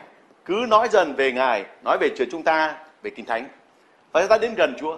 Chúa dùng lời của Chúa qua từng thời kỳ một, qua các đấng tiên tri để nói cho họ biết về điều Ngài từng phán trước rồi. Và bây giờ Ngài dẫn họ lại gần hơn cái điều đã phán từ trước. Chúa đưa chúng ta về trong quá khứ để đến được tương lai. Nếu chúng ta không hiểu về quá khứ, tức là không hiểu cái nguồn gốc của chúng ta, chúng ta làm sao đến với tương lai được? Vì quá khứ nói về cội nguồn của chúng ta. Quá khứ là bản khai sinh, lý lịch của chúng ta. Khi ta nhận biết mình là ai rồi, mình mới quý mình chứ. Bây giờ mình mới yêu Chúa được. Phải hiểu văn tự, phải hiểu kinh thánh, phải hiểu luật pháp của trời rồi. Bây giờ mình biết quý cái lạ thật mà Chúa sẽ bày tỏ cho mình. Vì lẽ thật là sự bày tỏ những gì đã được chép trong kinh thánh này thế bây giờ Chúa từng bước một đưa chúng ta đến. Ngài từng bước một để chúng ta chú ý vào cái điều Ngài sẽ bày tỏ cho. Đó là cách giảng tin lành. Chúa dạy các môn đồ của Chúa hãy theo ta. Ta sẽ khiến người trở nên tay đánh lưới người. Một chút chỗ này, một chút chỗ kia, giềng mối, thêm giềng mối, hàng thêm hàng. Ngài dùng tất cả mọi điều để kéo ta đến với Ngài. Đó là cách Ngài giảng cho chúng ta. Từng bước một, Ngài kéo chúng ta lại với Ngài. Esai đoạn 59, câu 13 đến 21 chép. Chúng tôi đã bạn nghịch, chối Đức giê va và trở lòng chẳng theo Đức Chúa Trời mình. Chúng tôi nói sự bạo ngược và phản loạn cưu mang những lời giả dối trong lòng và nói ra. Cho nên sự công bình trở lui lại, sự nhân nghĩa đứng xa, vì lẽ thật vấp ngã giữa đường phố và sự ngay thẳng chẳng được vào. Lẽ thật đã không còn, ai đánh điều giữ thì phải bị cướp bắt. Đức Giê-va thấy không có sự công bình thì chẳng đẹp lòng. Thấy không có người, chẳng ai cầu thay thì lấy làm lạ lùng. Ngài bèn dùng chính cánh tay mình đem sự cứu rỗi đến, lấy sự công bình mình mà nâng đỡ. Ngài mặc sự công bình làm giáp, đội sự cứu chuộc trên đầu làm mão trụ. Lấy sự báo thù làm áo mà bận lấy sự sốt sáng làm áo tơi mà choàng mình. Ngài báo trả cho người ta tùy việc họ làm sự thành nộ cho kẻ đối đình ngài sự báo oán cho kẻ thù nghịch. Ngài sẽ báo trả các củ lam người ta sẽ kính sợ danh đức giê ba từ phương tây và sự vinh hiển ngài từ phương mặt trời mọc lên vì ngài sẽ đến như sông tràn dẫy bởi đức giê ba thổi dục đấng cứu chuộc sẽ đến Sion, đến cùng những kẻ thuộc về gia cốp là kẻ bỏ tội lỗi. Đức Giê-va phán vậy. Đức Giê-va phán về phần ta này là giáo ước ta đã lập với họ, thần ta ở trên ngươi, cả đến những lời ta đã đặt nơi miệng ngươi sẽ chẳng lìa khỏi miệng ngươi, miệng dòng dõi ngươi và miệng dòng dõi của dòng dõi ngươi từ bây giờ cho đến đời đời. Đức Giê-va phán vậy. Trong lời của Chúa đã phán rằng lẽ thật anh chẳng còn có nghĩa là Đức Trời đã ban lẽ thật của Ngài ở trong lời của Chúa rồi. Nhưng tại sao bây giờ trong dân của Chúa không còn lẽ thật nữa? Là bởi vì những thầy tế lễ, ham ăn, mê ngủ, nên khiến cho trộm cướp là vào cướp hết của dân sự Chúa nên họ không có lời của Chúa nữa bây giờ Chúa dùng cánh tay của ngài mà đến cánh tay của Chúa là lời hàng sống của Chúa hình bóng về Chúa Jesus Christ là còn một ngài để cứu chuộc người chúng ta Đức Trời biết rõ ràng loài người xác thịt bất toàn sẽ không thể nào tự mình nói theo được luật pháp công bình của Ngài. Vì tâm thần thì rất muốn, nhưng mà xác thịt thì yếu đuối. Bởi vì người ta chưa nhận được giá cứu chuộc cho thân thể xác thịt của mình ra khỏi sự đổ xá của luật pháp. Ê-xê-chiên đoạn 36, câu 24 đến 27 chép. Ta sẽ thâu lấy các ngươi khỏi giữa các dân. Ta sẽ nhóm các ngươi lại từ mọi nước và đem về trong đất riêng của các ngươi. Ta sẽ rưới nước trong trên các ngươi và các ngươi sẽ trở nên sạch ta sẽ làm sạch hết mọi sự ô uế và mọi thần tượng của các ngươi. Ta sẽ ban lòng mới cho các ngươi và đặt thần mới trong các ngươi. Ta sẽ cất lòng bằng đá khỏi thịt các ngươi và ban cho các ngươi lòng bằng thịt. Ta sẽ đặt thần ta trong các ngươi và khiến các ngươi noi theo luật lệ ta thì các ngươi sẽ giữ mạng lệnh ta và làm theo. Đây là ân điển của Chúa ban cho chúng ta. Ngài biết là chúng ta bị mệt mỏi quá rồi, bị bán đứng cho tội lỗi rồi. Không phải chỉ tổ phụ mà thôi, ngay cả những người mang danh là tội tơ chúa đã từng bán đứng dân sự của chúa cho ma quỷ mà họ không biết. Và bây giờ chính chúa đến. Chúa nói này, ngài sẽ thâu chúng ta lại giữa các dân trong muôn dân, chủ có chúng ta. Ngài sẽ nhóm chúng ta lại từ mọi nước và đem chúng ta đến đất riêng của chúng ta. Cảm ơn chúa. Đất riêng đó là gì? Lời của đức chúa trời. Ngài ban cho ta lẽ thật của ngài đặt ở đây. Tâm linh chúng ta là chuyên của đồng của ngài và bây giờ ngài ban cho ta lẽ thật của ngài và Chúa ban tặng tôi tớ là kẻ canh giữ và chính Chúa canh giữ luôn cái người canh giữ đó để thông qua người đó mà Chúa chăn dắt bầy chiên của Ngài. Chúa này ta sẽ rưới nước trong trên các ngươi, các ngươi sẽ trở nên sạch. Khi Chúa Giêsu đến thế gian này, Ngài cũng đã cảnh báo những người Giuđa về việc họ phải tái sinh lại thì mới có thể thấy được những sự lạ lùng trong luật pháp của Đức Chúa Trời. Họ cho linh hồn của họ mới thấy được Đức Chúa Trời và nhận được sự cứu rỗi của Ngài. Chúng ta rất muốn được uống nước trong của Chúa. Mà chúng ta không hiểu nước trong là gì hoặc là ý nghĩa giá trị quan trọng của nước trong, thì làm sao chúng ta thèm khát được? Phải có người nào nói về nước trong, là cái người mà đã được uống nước trong đó rồi. Người ta tả lại cái sự ngon ngọt, sự quý giá của nước trong đó. Thì khả năng phân biệt thiện ác ở trong đầu họ, cũng chỉ khôn họ bắt đầu mới thèm khát nó, ao ước nó, khi được nghe, được làm chứng về cái sự quý giá của nước trong đó. Sách Ezechiel đoạn 39 từ câu 25 đến 29 chép. Vậy nên Chúa Giê-va phán như vậy, nay ta sẽ đem những kẻ phu tù của Gia-cốp trở về ta sẽ thương xót cả nhà Israel và vì danh thánh ta mà nổi ghen. Chúng nó sẽ mang xấu hổ và mắc tội lỗi về mọi tội lỗi mà chúng nó đã phạm nghịch cùng ta. Khi chúng nó sẽ ở yên trong đất mình, không lo sợ ai hết. À, khi ta sẽ đem chúng nó về từ giữa các dân và thâu lại khỏi các đất của kẻ thù chúng nó, thì ta sẽ được tỏ ra thánh bởi chúng nó ở trước mắt nhiều nước. Chúng nó sẽ biết rằng ta là Jehovah, Đức Trời của mình, là khi ta đã đầy chúng nó làm phu tù giữa các nước rồi, và đã thâu chúng nó lại trên đất của mình, chẳng để sót một kẻ nào ở đó. Ta sẽ không che mặt khỏi chúng nó nữa, vì ta sẽ đổ thần ta trên nhà Israel. Chúa giê va phán vậy. Lời Chúa tuyệt vời, không ai nhìn thấy mặt Đức giê va mà còn sống cả. Mà đây chỗ này, Ngài sẽ chẳng che mặt nữa. Khi chúng ta đối diện với lời của Chúa, chúng ta đang đối diện với chính Đức Chúa Trời. Vì lời của Chúa nói về chính Ngài. Qua lời của Chúa chúng ta hình dung ra Đức Chúa Trời của chúng ta. Khi nói đối diện tức là đối mặt, diện là mặt. Nên Chúa Giêsu đã phán các ngươi đã thấy ta, ấy là thấy cha. Khi ta đối diện với lời của Chúa, chúng ta đang đối diện với mặt của Đức Chúa Trời chúng ta. Và Ngài sẽ soi sáng trên chúng ta. Có sự Ngài bày tỏ lẽ thật cho chúng ta. Vì Chúa phán rằng, Ngài sẽ đổ thần của Ngài trên nhà Israel. Trên nhà Israel tức là chúng ta chỉ có một nhà mà thôi. Tất cả người nào ra từ Đức Chúa Trời đều là con của Đức Chúa Trời cả. Vì Chúa chỉ tạo lên một Adam, tức là một dòng dõi mà thôi. Dòng dõi trong danh của Ngài. Và Chúa cho chúng ta thấy rõ ràng là Ngài sẽ đem chúng ta về giữa các giữa các dân đó, thâu chúng ta lại. Ngài sẽ cho chúng ta biết danh Ngài là gì và muôn dân sẽ biết danh Ngài qua các tôi tớ Ngài, qua các con cái của Ngài đang kẻ được cứu chuộc vậy. Giang đoạn 3 câu 3 đến câu 8 chép Đức Chúa Giêsu cất tiếng đáp rằng quả thật quả thật ta nói cùng ngươi nếu một người chẳng sanh lại thì không thể thấy được nước Đức Chúa Trời. Nicodem thưa rằng người đã già thì sanh lại làm sao được? Có thể nào trở vào lòng mẹ và sanh lần thứ hai sao? Đức Chúa Giêsu đáp rằng Quả thật, quả thật, ta nói cùng ngươi, nếu một người chẳng nhờ nước và thánh linh mà sanh, thì không được vào nơi Đức Chúa Trời. Hãy chi sanh bởi xác thịt là xác thịt, hãy chi sanh bởi thánh linh là thần. Chớ lấy làm lạ về điều ta đã nói với ngươi, các ngươi phải sanh lại. Gió muốn thổi đâu thì thổi, ngươi nghe tiếng động nhưng chẳng biết gió đến từ đâu và cũng không biết đi đâu. Hễ người nào sanh bởi thánh linh thì cũng như vậy.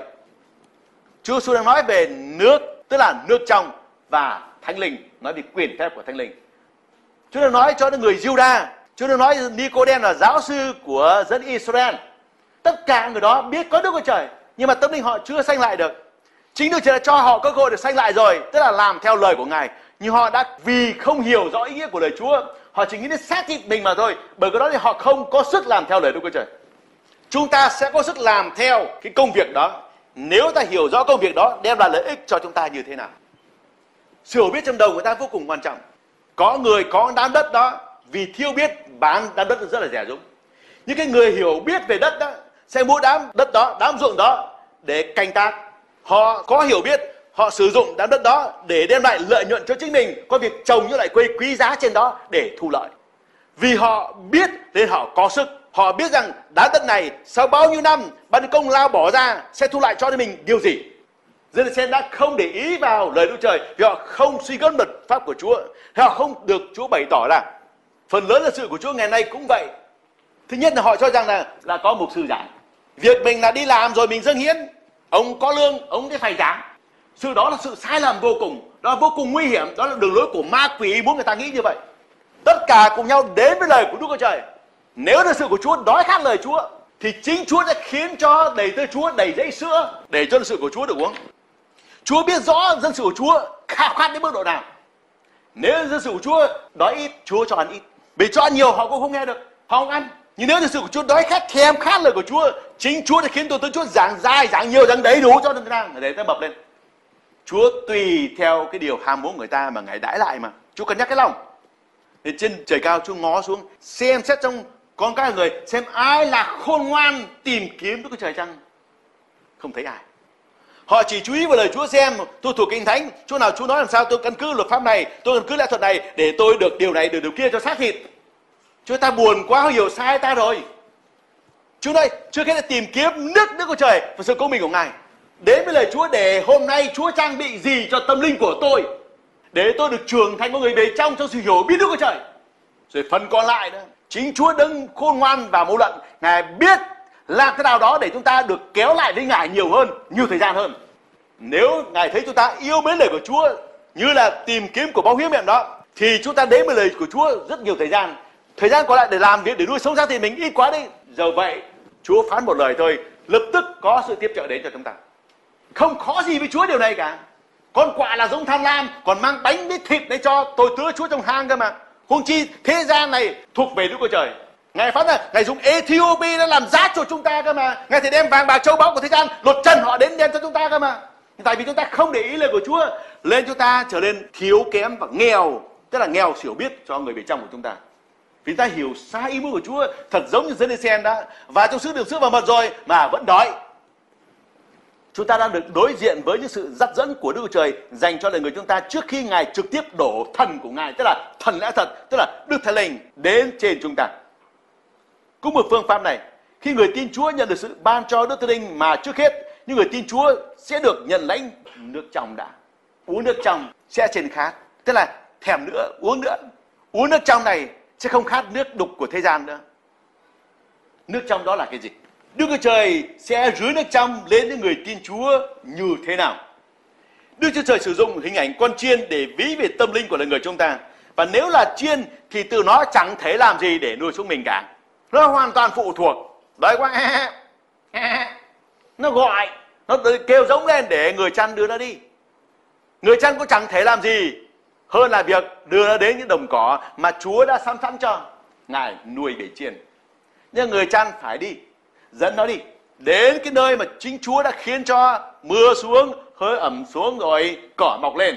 Và chiên sẽ ăn cái cỏ đó do Chúa trồng, không phải là loài người trồng. Rồi nó đến uống cái nước, cái nước do chính Chúa khiến nó ra, không phải là người ta đào giếng lên. Trừ khi nào mà không còn khe nước đấy, người ta mới đào giếng được cũng là nước bạch cho Chúa ban cho. Con chiên sống hoàn toàn vào những gì Chúa sẵn sẵn cho. Thì tâm linh của chúng ta cũng vậy từ xác thịt chúng ta chẳng làm gì được nhưng mà chúng ta có thể làm được một điều nếu chúng ta vâng giữ lời Chúa làm theo lời Chúa chúng ta trung tín đến với lời của Chúa đấy Chúa sẽ cho ta nước trong này Ngài sẽ vì sự trung tín của xác thịt mình mà cho ta biết là thật của Ngài. Chúng ta thấy nước trong. Sự trong của nước mà lời Chúa phán đó chính là sự thanh khiết trong lời của Đức Chúa Trời. Vì Đức Chúa Trời là đấng thanh khiết và công bình. Luật pháp văn tự này thì bày tỏ chúng ta bổn tánh của Chúa. Những điều cấm kỵ đó, tức là những điều mà ô uế Chúa bảo đừng có vướng vào, đừng có làm vào, đừng vi phạm nó, thì qua đó sẽ biết là Chúa là đấng thanh khiết và công bình. Nó chưa phải là nước trong. Nhưng mà nó là điều kiện để nhờ nó mà chúng ta hưởng nước trong. Nếu ta vâng lời Chúa làm theo, thì sẽ được uống nước trong. Còn nếu không? Ăn bánh đau khổ nếu không làm theo, thì bị sự đổ xả uống nước đục, ăn bánh đau khổ nhưng mà nếu làm theo lời Chúa, thì sẽ được uống nước trong. Vì đi trên đường pháp của Chúa sẽ có nước trong Chúa ban cho chúng ta. Lời của Đức Chúa Trời cũng phán rằng Ngài sẽ làm điều đó cho Israel, tức là bóng về tâm linh của những người được chuộc lại cho Đức Chúa Trời. Chứ Ngài không nói cho Jacob tức là bóng về xác thịt của loài người như vậy Đức Chúa Trời đang nói về một dòng dõi thật được tạo nên bằng giao ước mới được thi hành qua con một ngài là Đức Chúa Jesus Christ cùng với quyền phép của thần đã thật hành động trong lòng của những người đã nghe và tiếp nhận lời của Đức Trời và làm theo. Đức Chúa Trời sử dụng những người đã nhận được sự ban cho thần đã thật, tức là Đức Thánh Linh. Và qua những người đó, mà những người đó được gọi là tôi tớ của Đức Chúa Trời, mà thần sẽ thật sẽ bày tỏ ra những lẽ thật mà Ngài đã từng tỏ ra cho các tôi tớ của Ngài. Chưa hết, Ngài tỏ cho các tôi tớ của Chúa biết, họ hiểu rồi. Bây giờ họ được Chúa sai đi và thần của Chúa cùng làm việc với họ. Nên khi các tôi tớ của Chúa công bố lời của Chúa ra rồi, Thánh Linh sẽ hành động cặp theo những phép lạ đó để cho người ta tin chắc lời của Chúa vững trong lòng người ta vậy. Giang đoạn 5 của 24 27 chép quả thật quả thật ta nói cùng các ngươi ai nghe lời mà tin đấng đã sai ta thì được sự sống đời đời, và không đến sự phán xét, xong vượt khỏi sự chết mà đến sự sống quả thật quả thật, ta nói cùng các ngươi, giờ đến và đã đến rồi, khi những kẻ chết sẽ nghe tiếng của con Đức Chúa Trời, và những kẻ nghe sẽ được sống. Vì như cha có sự sống trong mình, thì cha cũng đã ban cho con có sự sống trong mình vậy. Cha đã ban quyền thi hành sự phán xét cho con vì là con người. Đây là điều quan trọng cho chúng ta. Chúa không nói những kẻ ở trong mồ mả thuộc thể đâu. Nên nhớ là khi xác thịt phạm tội thì nó là coi như chết rồi. Quả thật nó đã chết rồi. Chẳng có người nào mà xác thịt mình được lên thiên đàng cả.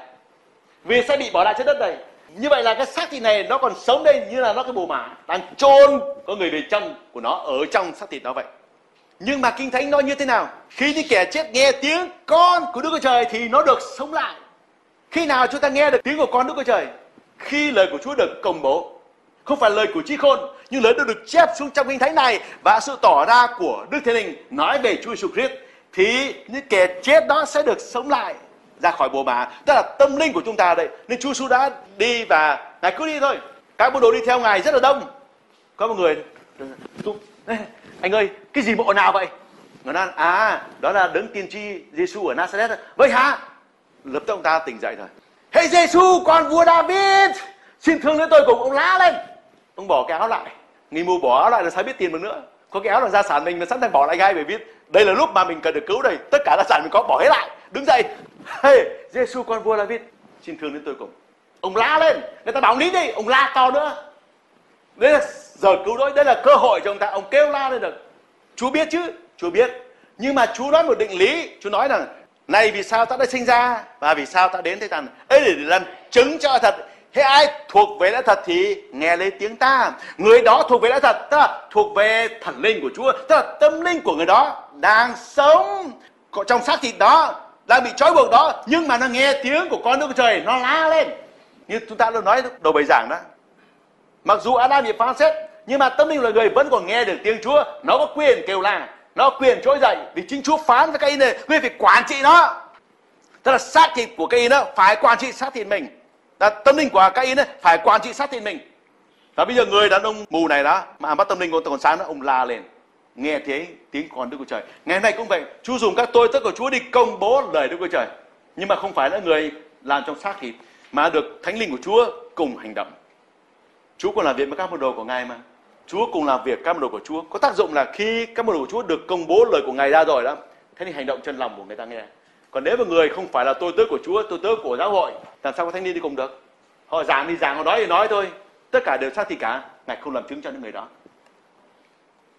Episode đoạn 5 câu 14 chép Cho nên có chép rằng Ngươi đang ngủ Hãy thức Hãy vùng dậy từ trong đám người chết Thì Đấng Christ sẽ chiếu sáng ngươi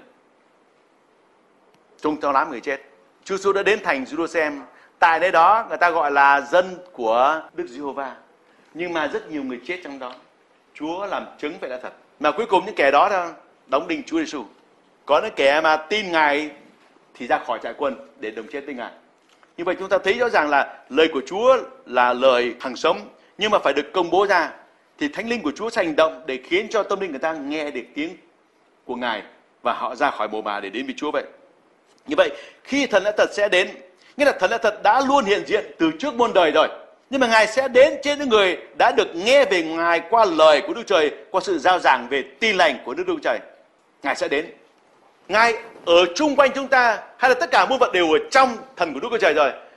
Nhưng mà Ngài sẽ đến với người nào khi người đó kêu gọi. Người đó mở cửa ra thì Ngài mới vào được.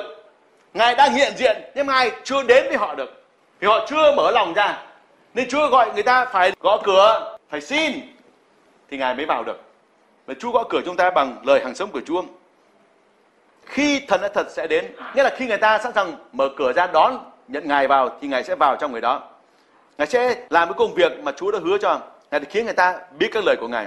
Trong sách Jeremy đoạn 29 câu 11 đến 13 chép Đức Giê-va phán vì ta biết ý tưởng ta nghĩ đối cùng các ngươi là ý tưởng bình an không phải tai họa để cho ngươi được sự trông cậy trong lúc cuối cùng của mình. Bây giờ các ngươi sẽ kêu cầu ta, sẽ đi và cầu nguyện ta và ta sẽ nhậm lời. Các ngươi sẽ tìm ta và gặp được khi ngươi tìm kiếm ta hết lòng. Đây là một điều kiện khi nào thì người ta sẽ tìm kiếm Đức Diêu và Như tôi phải làm chứng. Em có thể em ra cái tóc. Ngoài kia có một người đó thất thểu đến tóc bù xù nó để mấy tháng mới cắt bởi vì không có tiền. Đến đó người cắt được than thở. Bây giờ em bắt đầu làm chứng về Chúa cho người đó. Tức là làm chứng về ý tưởng của Đức Chúa Trời thông qua lời của ngài là ý tưởng bình an cho người ta. Cái người đó là trong lúc cuối cùng của mình rồi đó. Bây giờ, em cho người ta biết, người đó có nơi trông cậy. Đó là lời của chúa. Lời của chúa là ý tưởng của đức trời, ý tưởng của chúa là ý tưởng bình an, không phải tài họa. Để người ta có sự trông cậy. Khi người ta nghe thùng rồi, người ta hiểu rồi, người ta sẽ kêu cầu chúa, người ta tìm kiếm chúa hết lòng và chúa sẽ cho người đó gặp được ngài. Chúa sẽ cho người đó gặp được ngài. Thật là thật sẽ dẫn những người tin chúa và mọi là thật như thế nào? Giai đoạn 16 câu 13 chép Lúc nào thần lẽ thật sẽ đến thì Ngài dẫn các ngươi vào mọi lẽ thật. Vì Ngài không nói tự mình, nhưng nói mọi điều mình đã nghe và tỏ bày cho các ngươi những sự sẽ đến. Chữ dẫn ở trong câu 13 này trong tiếng Hy Lạp có nghĩa là người dẫn đường, người chỉ dẫn, người dắt dẫn, người dạy cho biết đường lối, cách thức, phương pháp cùng cách thức sử dụng phương tiện cùng sự hiểu biết về các phương pháp cách thức đó. Chúng ta học nhiều thứ lắm, nhất là các em bé trưởng thành lên rồi lớn lên rồi học đầu tiên là học cầm cái chén, cầm cái thìa, rồi cầm cái ly để uống, rồi biết uống bằng ở ống hút, rồi bắt đầu cầm đũa, học từng tí một, rồi học cái cái bút để viết, rồi người lớn lên học cầm con chuột, nháy làm sao, dùng cái danh từ, dùng cái máy vi tính như thế nào, học. Những người mà dẫn dắt như đó đó, tức là người thầy đó, đang chỉ dẫn họ, đang hướng dẫn họ từng bước một để họ biết sử dụng được.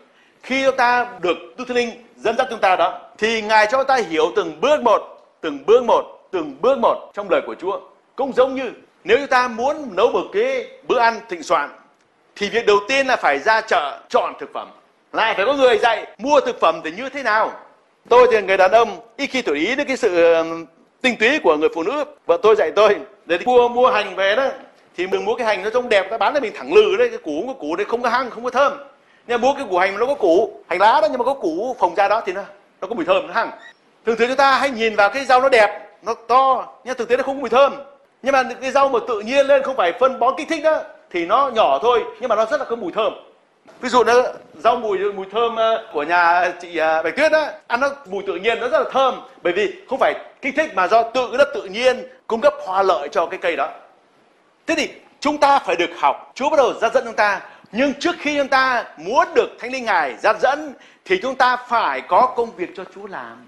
Chúng ta phải có lời của chúa. Chúng ta phải có luật pháp của đức chúa trời. Vì chúa đến để cho chúng ta hiểu rõ ý nghĩa của luật pháp. Mà nếu mình không có luật pháp, thì làm sao ngài giải nghĩa chúng ta được? Chúng ta phải có bài tập. Thì bây giờ ngài bắt đầu dạy chúng ta giải bài tập chứ. Chúng ta phải có luật pháp của chúa rồi. Thì bây giờ, ngài sẽ đến cùng chúng ta. Chứ có luật pháp đây không phải là tôi thuộc kinh thánh, mà là học kinh thánh đến đâu, làm theo đến đó tức là tôi vâng phục luật pháp đó. Bây giờ, ngài mới giúp đỡ. Vì chính ngài là đứng ban luật pháp đó cho chúng ta. Nếu ta không yêu quý luật pháp đó, ngài không giải nghĩa. Bởi vì ngày nay có rất nhiều người ăn lỏm tức là lẩu cá, họ học thuộc kinh thánh rồi đó. Họ muốn có nhiều sự mầu nhiệm và sách đó mua về đó, họ giảng. Để họ tôn cao cái tôi của họ lên, để được lương cao, để người ta mời đi giảng nhiều. Chua ghét những kẻ đó. Vì thực tế là nó đang tu bổ cho cái xác thịt mình nó to lên, nhưng mà tâm linh của nó thì chết. Ích chi? Chúa nói rằng, nếu một người có được cả thế gian này mà mất linh hồn mình thì ích chi? Chúa yêu tâm linh của chúng ta. Ngài muốn chính tâm linh chúng ta kinh nghiệm được về Ngài. Chúa muốn ta yêu quý luật pháp của Chúa Cơ Trời. Dù ta không hiểu, nhưng mà như thầy tế lễ Esra là người thông thạo luật pháp của Đức Giê Va ông làm lợi ra là ông giảng luật pháp cho dân Israel. Vậy mà chưa phải kỳ, ông đó cũng không thể biết được đã thật. Đến ngày hôm nay, Chúa muốn ta biết là thật của Ngài. Thánh Linh sẽ đến giúp chúng ta. Nhưng mà chúng ta phải có lời của Chúa trong lòng mình thì Ngài sẽ giúp. Em rất muốn đi hầu việc Chúa nhưng em chưa thể đi ngay được bởi vì em chưa trang bị đủ khí giới cho chính mình cả. Dù có lòng các chiến sĩ bắt đầu gia nhập quân đội đó làm ờ, chiến sĩ bình thường học đã kỷ luật quân đội đã. Đội quy điều lệ xong đó đó rồi mới bắt học được kỹ chiến thuật rồi học đến vũ khí. Không thể vào cái đó đi chiến trường này đâu trở thành là cái bia đỡ đạn là chết. Này, chúng ta phải hiểu luật pháp của Chúa Trời. Về trận chiến này là trận chiến giữa luật pháp với lại, quyền lực của sự tối tăm. Luật pháp của Chúa là sự sáng, ma quỷ là sự tăm nó tìm cách phá hủy luật pháp của Trời. Kinh thánh chép, nếu các nền bị phá đổ, thì người công bình sẽ làm sao? Nếu luật pháp không còn, thì chúng ta không còn nơi nương cậy.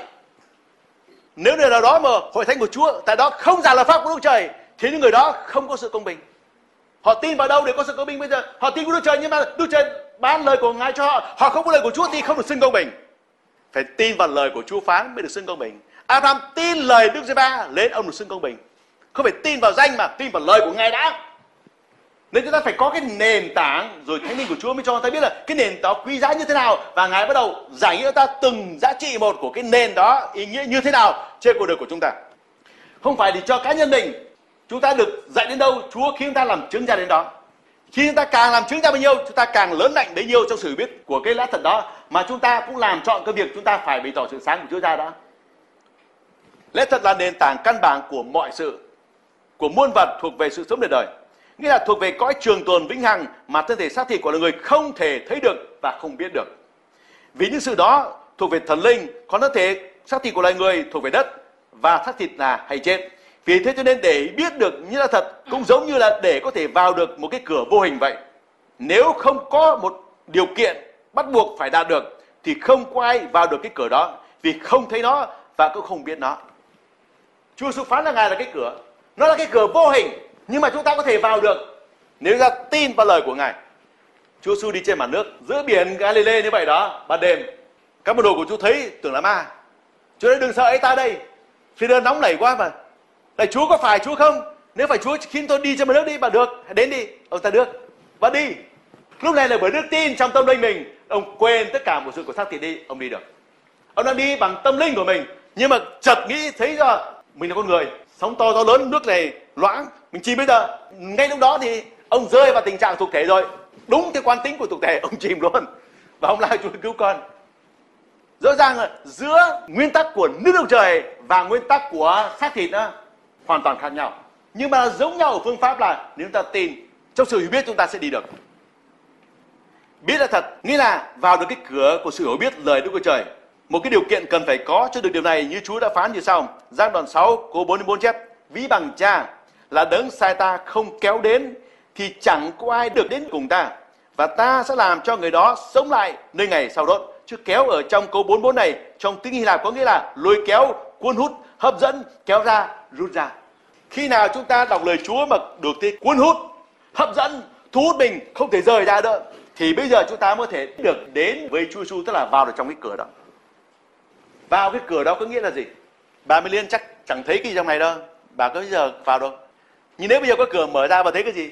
Nếu người mở cho ta thấy những sự ở bên trong đó, thì khi chúng ta đến được với Chúa Giêsu tức là chúng ta tin lời của Ngài yêu mến lời của Ngài. Chúng ta suy gẫm lời Chúa. Bây giờ Chúa tỏ cho ta những sự ở trong lời đó những sự mà cái lời đó nói về làm chứng về tả về. Chúng ta sẽ thấy được điều đó. Trong sách nhà ca này vua sẽ dẫn chúng tôi vào các phòng của ngài. Ngài dẫn chúng ta vào các phòng của ngài. Từng bước một từng bước một. Khi chúng ta đọc đến đoạn này Chúa dẫn chúng ta vào sách này, sách kia, đoạn này, đoạn kia, trong đời này, trong đời kia chúng ta thấy wow, bây giờ tôi mới hiểu. Ngài cho chúng ta trở về trong quá khứ cả mấy ngàn năm. thế được sự lạ lùng ở trong lời mà Chúa đã chép đó. Chúng ta mới hiểu được. Ngài dẫn chúng ta đi tất cả mọi sự. Ngài dẫn chúng ta về quá khứ, Ngài dẫn chúng ta về tương lai. Ngài dẫn chúng ta vào trong thiên đàng. Ngài dẫn chúng ta về những điều mà Kinh Thánh có chép. ngài không cho chúng ta đi những điều mà thánh không có chép ngài cho ta được thấy những cái sự mầu nhiệm đã giấu kín trong các đời trước tức là được chép trong các đời trước chúng ta vậy giang đoạn 10 câu 9 chép, ta là cái cửa, nếu ai bởi ta mà vào thì sẽ được cứu rỗi. Họ sẽ vào ra và gặp đồng cỏ. Ồ, chúa ơi, người ta cầu nguyện xưng danh chúa ra thì được cứu. Mà bây giờ chúa nói, ta là cái cửa, nếu ai bởi ta mà vào thì sẽ được cứu rỗi. Như vậy khi người ta quỳ gối cầu nguyện xưng danh chúa là cứu chúa của mình chứ là nó là cái miệng họ thôi, cái lòng họ chưa chắc. Chính họ phải bởi cửa mà vào đã tại sao? Vì có rất nhiều thứ liên quan đến sự cứu rỗi mà chúng ta có cần. Chúa sư phán, nếu ngươi trả thiếu một đồng tiền thì không ra khỏi tù được. Khi nói thiếu tiền, tức là nợ, trong tiếng Hebrew, nợ cũng nghĩa là tội. Nếu ta không thanh toán hết tội của mình, làm sao mà được tha? Khi chúng ta còn bị nợ, chúng ta không thể bán nhà cho ai được. Mà dù chúng ta có giá chuộc, Chúa hứa rằng Ngài sẽ cho chúng ta được chuộc lại. Bây giờ tổ phụ chúng ta đã khiến ta bị nợ khoảng 100 loại tội ở trên cuộc đời của con người đó mà những cái tội đó phải được sinh ra. Mà làm sao có thể thanh toán được tội này được? Chúa Giêsu là đấng sẽ trả giá chuộc cho chúng ta. Nhưng mà vì chúng ta phải biết cái tội đó thuộc về lĩnh vực nào, mình phải xưng ra. Xưng ra thì cái tội đâu được tha, bởi vì Chúa Giêsu đã chịu cái lần đòn trên thân thể của ngài rồi. Những cái tội đó khiến ngài bị đòn khi ngài bị roi. Tất cả ngài đã chịu rồi. Nhưng mà chúng ta phải biết rằng tất cả cái roi đòn đó là sự trừng phạt của luật pháp. Vậy thì bây giờ mình xem luật pháp của Đức Trời nói gì về mình và mình vi phạm luật gì? Mình phải xưng tội đó ra như vậy chúng ta phải học thuộc luật pháp. Thánh linh nhắc lại đó còn có tội này đó vậy thì cái đó phải hạ mình xuống, ăn năn tội đó ngay. Xưng từng tội một. Xưng tội đó, tức là giá Chúa Giêsu đã chuộc cho mình. Nhưng làn roi đó, Chúa giêsu gánh thay rồi. Bây giờ mình xưng ra, tội đó được buông tha. Chính Đức Chúa Trời là quan áo của mình. Biết đó đó do này ngày gạch tội đó khỏi chúng ta. Ma quỷ không cầm một được nữa, thoát. Cho nên khi nào cái tội cuối cùng là cái tội khi người ta không thể thoát được nữa đó, được thanh toán rồi, người đó hoàn toàn được được chuộc nên chúng ta phải thuộc luật pháp Chúa Thiên Linh đến để cho ta hiểu được cái giá trị quan trọng luật pháp để chúng ta được tha tội bằng sự ăn năn, tức là luật pháp công bình của Chúa vậy. Thì bây giờ chúng ta mới được cứu rỗi. Sự cứu rỗi đây dành cho ai? Sự cứu rỗi dành cho ai nhỉ? Cho tâm linh mình, đúng như vậy. Cho linh hồn của chúng ta. Mà linh hồn chúng ta bị giam bởi cái thân thể hay chết của chúng ta. Thân thể xác thịt này được gọi là cái mồ mả. Nó kêu cầu Chúa cứu con, nó nghe tiếng Chúa rồi. và được, vậy thì ta sẽ cứu con, nhưng với điều kiện con phải hợp tác với ta. Con phải quản trị xác thịt con. Con phải trỗi dậy đánh trận với nó đi. Con phải thúc đẩy nó. Con cứ tiếp tục cầu nguyện và ta sẽ tiếp tục hành động.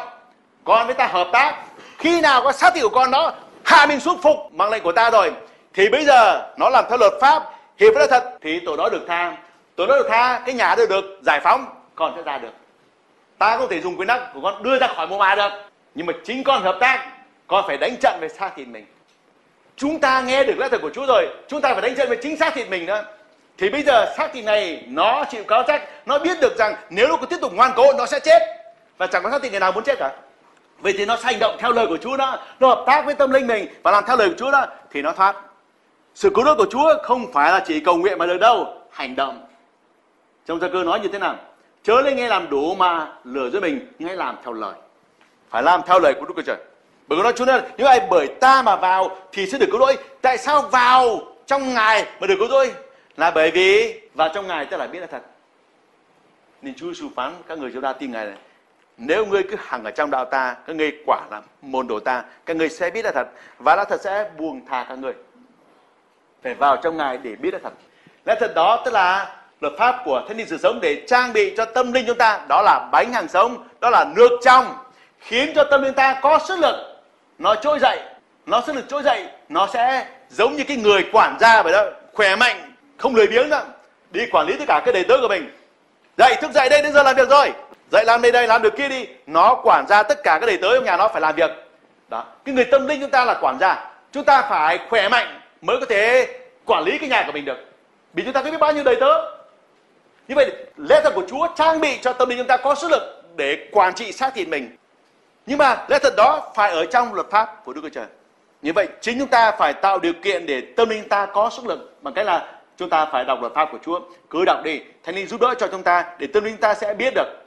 Có lúc chúng ta đọc luật pháp rồi chúng ta quên, nhưng mà tâm linh nó không quên. Một người kia xác thị định làm điều gì đó vi phạm luật pháp, tâm linh nó trỗi dậy, nó chống lại, nó kêu la, nó chống lại, nó khiến cái người xác thị của nó không yên tâm làm được cả. Bởi vì hai bên cháy nhau chừng đó đấy, không làm được việc. Một sự tranh chiến xảy ra đó, Chúa biết rồi, Chúa khiến nó xảy ra như vậy rồi. Chúa cho dùng lời của Chúa để công bố ra hỗ trợ. Sự sáng chiếu ra rồi, xác thì đã biết, à nó sai. Vậy thì nó đầu phục. Nó phục lời của Đức Chúa Trời, thế tâm mình nó thắng. Cách làm việc của Chúa như vậy đó. Nên Chúa nói là, hễ ai bởi tay mà vào thì sẽ được cứu rỗi. Là vì như vậy. Chứ không phải là chỉ cứ cầu, cầu gối quỳ, quỳ gối thì cầu nguyện tiếp nhận Chúa Jesus Christ là được cứu rỗi ngay đâu. Nó chỉ là quyền hợp pháp ban đầu mà thôi, theo lý thuyết thôi. Nhưng mà người đó còn sống thì người đó phải làm theo lời. Còn khi cầu nguyện vừa xong mà chết luôn thì ân điển của Chúa ban cho người đó được cứu qua lửa vậy. Giăng đoạn 14 câu 6 chép. Vậy Đức Chúa Giêsu đáp rằng ta là đường đi, lẽ thật và sự sống, chẳng bởi ta thì không ai được đến cùng cha. Chúa Giêsu đã phán những lời trên trong ngôn ngữ mà xác thịt của loài người có thể hiểu được.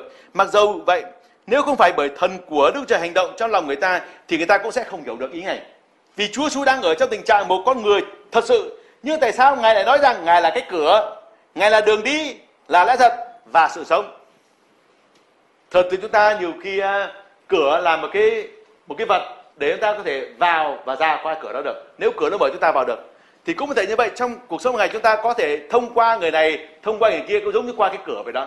Để qua cái người đó giới thiệu, giúp đỡ, dắt đưa, chỉ dạy mới có thể làm được điều này, làm được kia hoặc vào được công việc này, vào được công ty kia. Thì công việc ở đó cũng sự thông qua trung gian giống như, như cái cửa vậy đó. Chúa Giêsu đã cung cấp cho những người nghe Ngài giảng bằng các bằng chứng như ban cho những hạt giống của nước Đức Chúa Trời. Và đến kỳ họ nhận được sự ban cho Đức Thánh Linh, tức là thật lẽ thật, bây giờ họ sẽ hiểu được ý nghĩa của những sự giảng dạy mà Chúa Giêsu đã từng giảng cho được, cùng những sự mà đã được chép trong Kinh Thánh vậy. Có những điều mà các môn đồ của Chúa đã từng nghe Ngài giảng nhưng không hiểu, thì đến kỳ mới hiểu được. Thì có hạt giống gieo rồi đó, nó phải đến kỳ đã định nó mới nở, còn không nó không nở mầm. Giang đoạn 12, câu 12 đến 16 chép.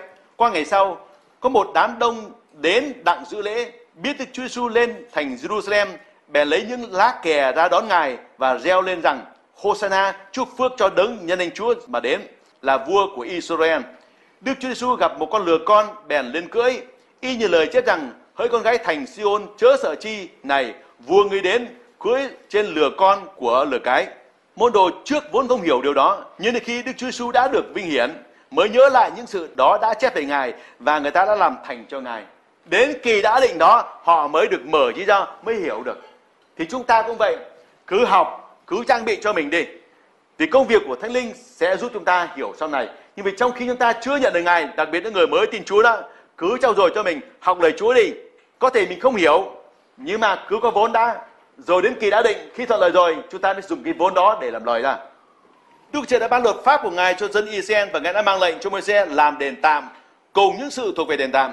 Nhưng cho đến kỳ sau rốt này, trong giao ước mới của Đức Chúa Trời làm qua con một Ngài là Chúa Jesus Christ đó mà hội thánh của Ngài mới nhớ mới nhờ đến thánh linh của Đức Chúa Trời mới hiểu được những nghĩa thật của các vật thuộc về đền tạm cũng như ý nghĩa về sự hy sinh của thân thể Đức Chúa Giêsu cũng những sự mà Chúa Giêsu đã phán chế về chính Ngài là cái cửa là đường đi là đã thật và sự sống là những sự mà người tin Chúa đã được nghe.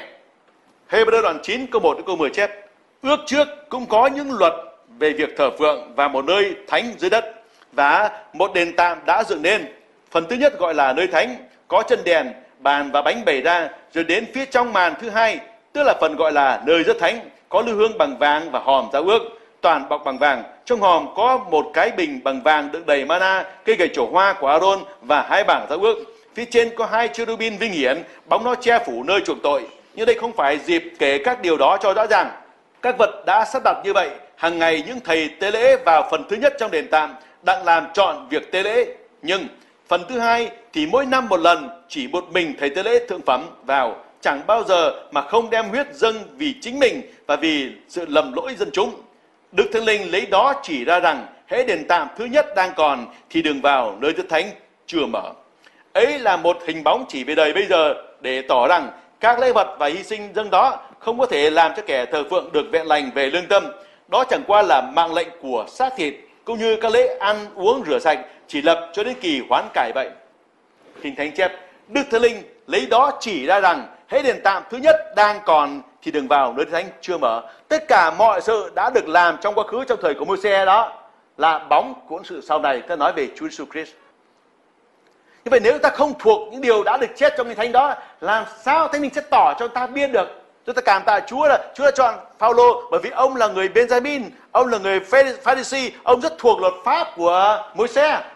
Bởi đó Chúa rất giàu cho ông đó, ông mới hiểu được sai lầm đó để giảng ra, đặc biệt là giảng cho những người Hebrew, là người Juda, người có luật pháp văn tự của Messiah, nhưng họ không hiểu được cái sự bầu nhiệm đó. Chính bởi cái đó nên họ đã đóng trình Chúa Jesus Christ. Ngày nay biết bao nhiêu hội thánh, bao nhiêu nhà thờ đóng đinh chui xuống Christ trên thập tự giá. Vì họ không hiểu. Đặc biệt bên Catholic, họ làm cái thập tự giá rồi có hình treo trên đó. Chúa Jesus nếu còn bị treo trên đó, kẻ làm sao người cứu chúng ta được? Mà trong cái đó Chúa nói là ta ở trên trời phán xuống, các ngươi không thấy ta.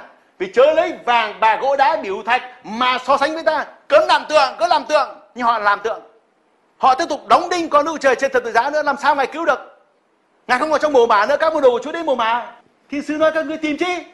Các không tin lời chúa đã phán các gì khi ngài còn sống sao ngài sẽ ở trong mồ mả nhưng mà đến ngày thứ ba ngài sẽ sống lại mà ngài không ở đấy nữa đâu ngài sống lại rồi các môn đồ của chúa không hiểu không tin nếu ta không tin, ta tiếp tục đóng đinh con một Đức Chúa Trời. Mà nếu Ngài còn trên thập giá bị đóng đinh như vậy, chúng ta hết nhờ, hết được cứu. Bởi đức tin chúng ta, việc phải thành vậy mà. Ma quỷ nó xảo quyệt nó khiến người người ta tưởng là kính sợ Chúa yêu mến Chúa lắm, làm cái tượng đấy cứ đứng nhìn vào cái thập tự giá rồi là, là, là, làm dấu. Mình không nhạo báng nhưng mà thấy rõ ràng là phi lý. Nếu ngài thật còn ở trên đó đi, chúng ta tin ngài vô ích. Nhưng ngài không ở trên đó. Đó là cái bóng về việc nếu ta phạm tội sẽ bị đóng ở trên đó. Nhìn vào đó mà biết rằng vì tội chúng ta mà Ngài bị đóng đinh. Nhưng Ngài cũng sống lại vì chúng ta nữa. Để ta có thể trông cậy vì sự sống lại của mình. Tất cả đều là bóng. Nếu như người ta còn tiếp tục thờ phượng cái kiểu đó nữa thì sự tin của người đó là vô ích.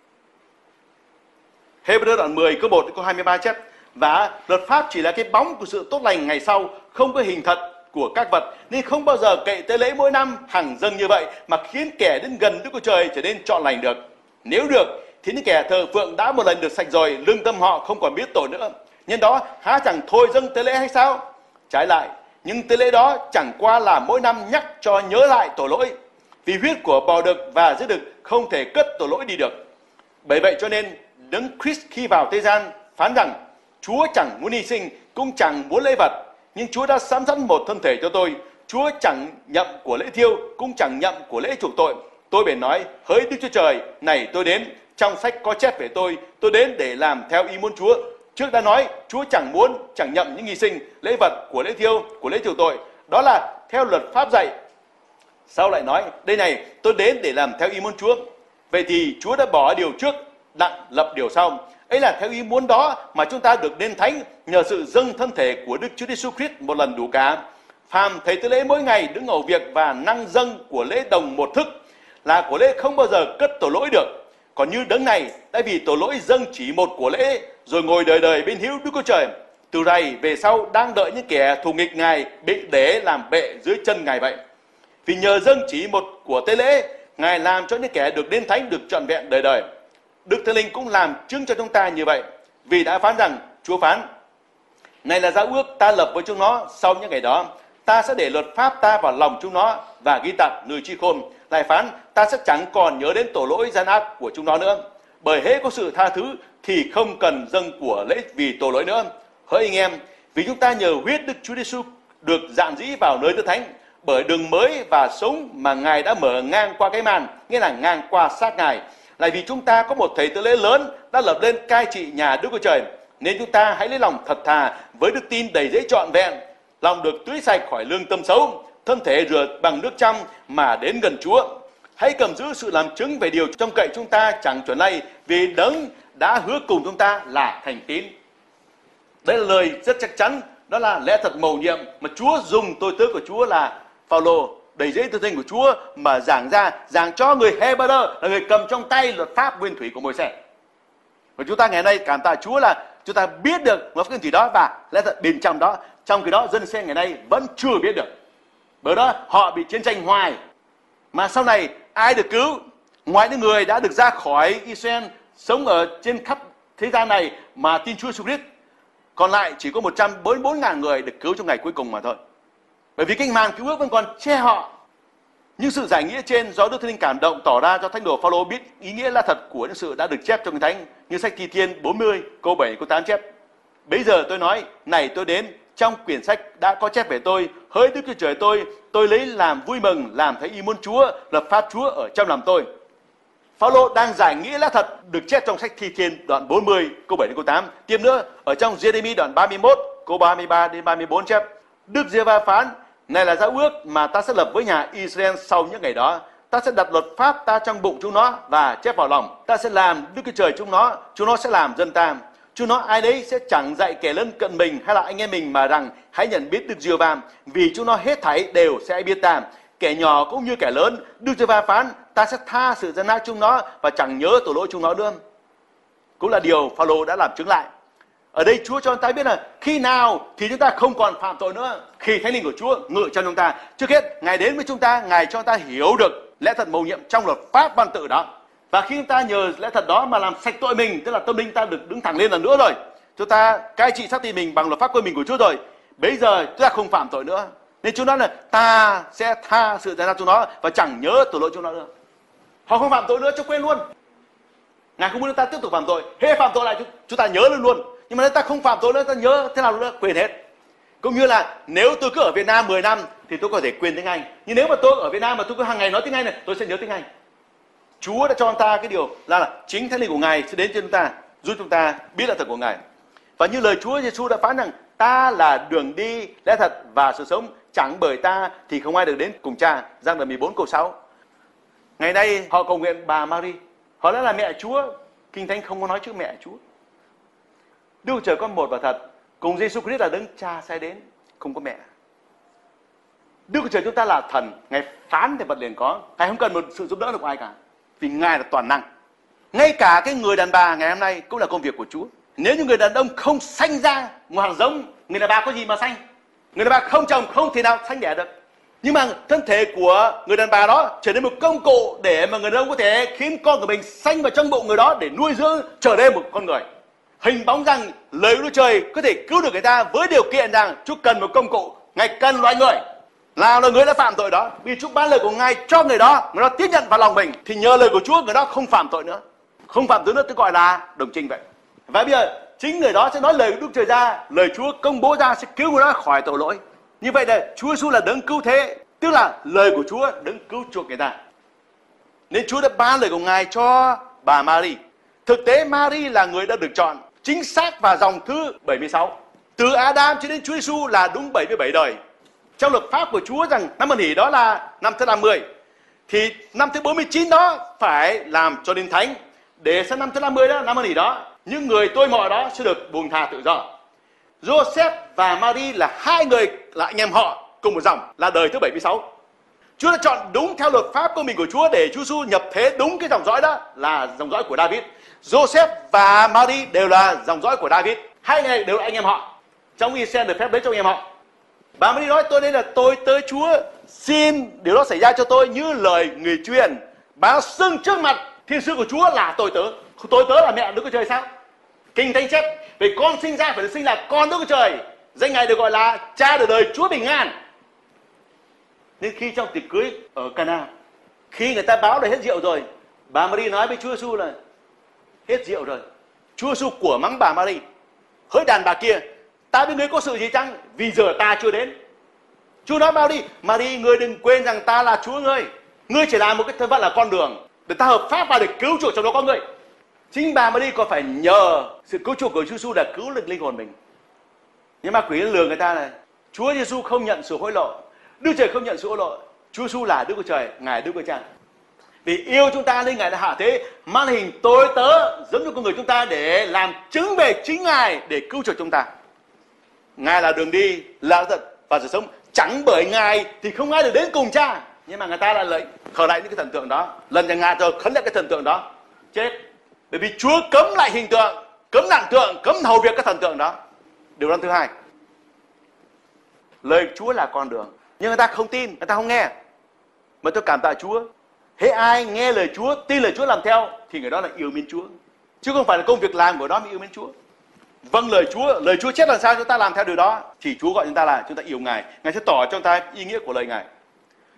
Chúa sư phán, lúc nào thần đã thật sẽ đến thì Ngài dẫn các ngươi vào mọi đã thật. Vì Ngài không nói tự mình, nhưng nói mọi điều mình đã nghe và tỏ bày cho ngươi những sự sẽ đến. Đức Thánh Linh không chỉ dùng chiêm bao, khải tượng để bày tỏ ý muốn của Ngài, nhưng Ngài còn phán trực tiếp với tâm linh của người tin Chúa đã được sanh lại. và đó là công việc Ngài dùng để dẫn dẫn những người thuộc về Ngài. Chúa nhắc lại chúng ta nhớ mọi điều đã phán, đã được nghe. Như vậy thì Thánh Linh của Chúa không nói cái điều gì khác ngoài Kinh Thánh cả. Như vậy nếu ta thuộc Kinh Thánh thì Chúa sẽ lấy những điều chúng ta đã thuộc đó, Ngài nhắc nhở. Chúng ta nên nhớ là xác thịt chúng ta thường thường là hay quên luật pháp của Chúa. Thế dùng trí khôn của mình để giải quyết vấn đề. Hoặc khi chúng ta thắc mắc thì có cái tiếng phán ở trong lòng chúng ta bởi vì chúng ta ra từ Ngài. Tức là chúng ta cũng là nước ra từ cái bình đó. Nên khi hai dòng nước đổ vào nhau không khác nhau gì cả. Nên là cái tiếng của Chúa phán ở trong tâm trí chúng ta đó rất giống tiếng của chúng ta nhưng mà khác cái xác thịt chúng ta là ý của ngài là luôn đi theo kinh thánh luôn lấy kinh thánh làm nền tảng ngài nói sự cao trọng của đức trời, nói về sự thánh khiết, sự công bình. Không vô giúp xác thịt, không amen với xác thịt, không thỏa hiệp với xác thịt. Nên cái tiếng của Chúa dễ dàng nhận ra nếu người nào đó yêu mến luật pháp của Chúa thuộc kinh thánh. Sẽ biết đó là tiếng của ngài. Ngài dạy nghĩa ta, sáng cho chúng ta. Cái ý mà chúng ta được học lời của Chúa Chúa dùng lời của ngài nhắc nhở cho chúng ta. Toàn bộ Kinh Thánh đều làm chứng về Đức Chúa Giêsu Christ, là làm chứng về sự cứu chuộc trọn vẹn mà Đức Chúa đã dành cho cả nhân loại. Nên thật lẽ thật sẽ nhắc cho những người tin Chúa nhớ lại và hiểu được những sự đã chép trong Kinh Thánh. Chúa Giêsu đang dùng lời đã chép để giảng ra và để tấn công ma quỷ. Khi nó cám dỗ Ngài, Ngài dùng lời đã chép để công bố. Khi chúng ta suy gẫm lời của Đức Chúa Trời thì Đức Thiên Linh tức là thật lẽ thật sẽ hành động để chỉ dạy cho chúng ta biết bằng cách nào để hiểu được ý nghĩa của lời Đức Chúa Trời. Đó là Ngài nhắc cho chúng ta nhớ những sự mà người tin Chúa đã được nghe, đã được học, đã suy gẫm và Ngài sẽ cho chúng ta nhớ lại các đoạn kinh thánh đã được chép và liên quan đến điều chúng ta đang đối diện, đang suy gẫm và cần biết ý nghĩa như lời của Đức Chúa Trời đã chép trong sách tiên tri Esai đoạn 28 từ câu 10 đến câu 12 phần A. Vì với họ phải giường mối thêm giường mối giường mối thêm giường mối hàng thêm hàng hàng thêm hàng một chút chỗ này một chút chỗ kia vậy nên đức giê va sẽ dùng môi lạ lưỡi khác mà phán cùng dân này ngài đã phán cùng nói rằng đây là nơi yên nghỉ hãy để kẻ mệt nhọc được yên nghỉ chúng ta có những bài học kinh thánh trong tuần. Nếu chúng ta để ý tất cả các sách tham khảo này, đều liên quan đến cái đề tài học hôm đó. Không có một bài tham khảo nào mà không liên quan đến cái đề mục này. Khi tôi soạn bài, thanh linh dẫn dắt. Ngày nhắc tôi đấy đoạn này đoạn này này con chọn con chọn chọn. Chính xác như vậy. Riêng mối thiên nhiều mối mục đích của bài hôm đó nói về gì? Ví dụ ngày 27 tháng 2 chủ đề sự báo trả cho hai loại người. Thì sách châm ngôn đoạn 11 câu 7 câu 8 nói điều gì? Với điều này đang nói về chúng ta dùng trí khôn để làm chứng về điều Chúa phán đó là chính xác. Nhưng mà kinh thánh đã nói gì về điều này? Chúa cho ta biết là Mai Thơ đoạn 10 Thi Thiên 31 và 37 Isaiah 43 nói điều này. Thánh linh hành động. Tôi là người thi hành. Công việc ngài sẽ bày tỏ ra.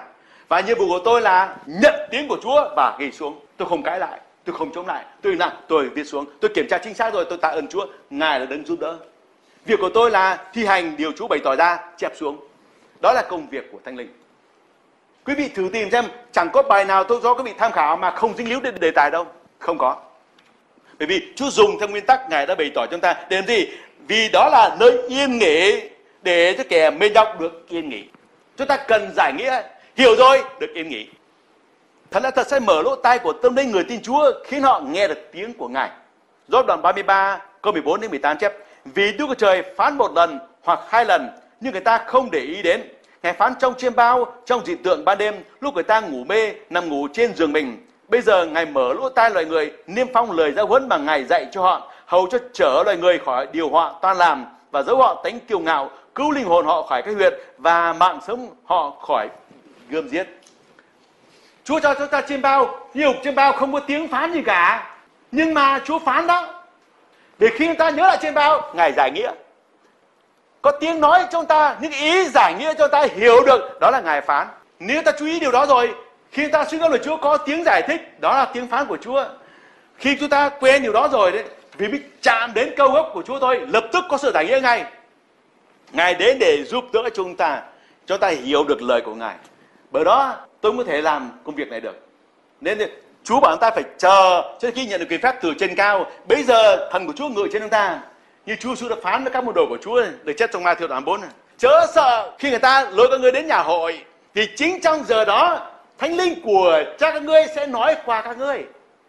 Các ngươi sẽ biết nói như thế nào. Ngài sẽ để lời của Ngài trên môi miệng chúng ta chúng ta nghe tiếng Chúa và nói ra, cũng như khi tôi nói tiên tri vậy đó Chúa nói qua tôi, Chúa, cho tôi nhìn thấy khải tượng, đại cương của khải tượng đó là gì tôi vừa mở miệng nói, Chúa tuôn tràn luôn Chúa thẳng luôn. Chúa nói này, hãy hà hoác miệng người ta, ta sẽ đổ đầy. Và Chúa số phán này, hãy tin ta thì sông nước hàng sông sẽ văng ra cho đến sự sống ở đời. Đó là công việc của Chúa. Esai đoạn 50 câu 4 chép, Chúa giê va đã ban cho ta cái lưỡi của người được dạy dỗ, hầu cho ta biết dùng lời nói nâng đỡ kẻ mệt mỏi. Ngài đánh thức ta mỗi buổi sớm mai, đánh thức tai ta để nghe lời Ngài dạy như học trò vậy. Mỗi buổi sáng ta nhớ cái gì? Nhớ trên bao. Mấy ngày vừa qua chúng tôi có trên bao, tôi có trên bao lạ lùng. Trong chiêm bao đó tôi thấy thú vị vô cùng tôi tỉnh dậy. Như một bộ phim kỳ lạ. Tôi đang ở trên sông một con thuyền nhỏ.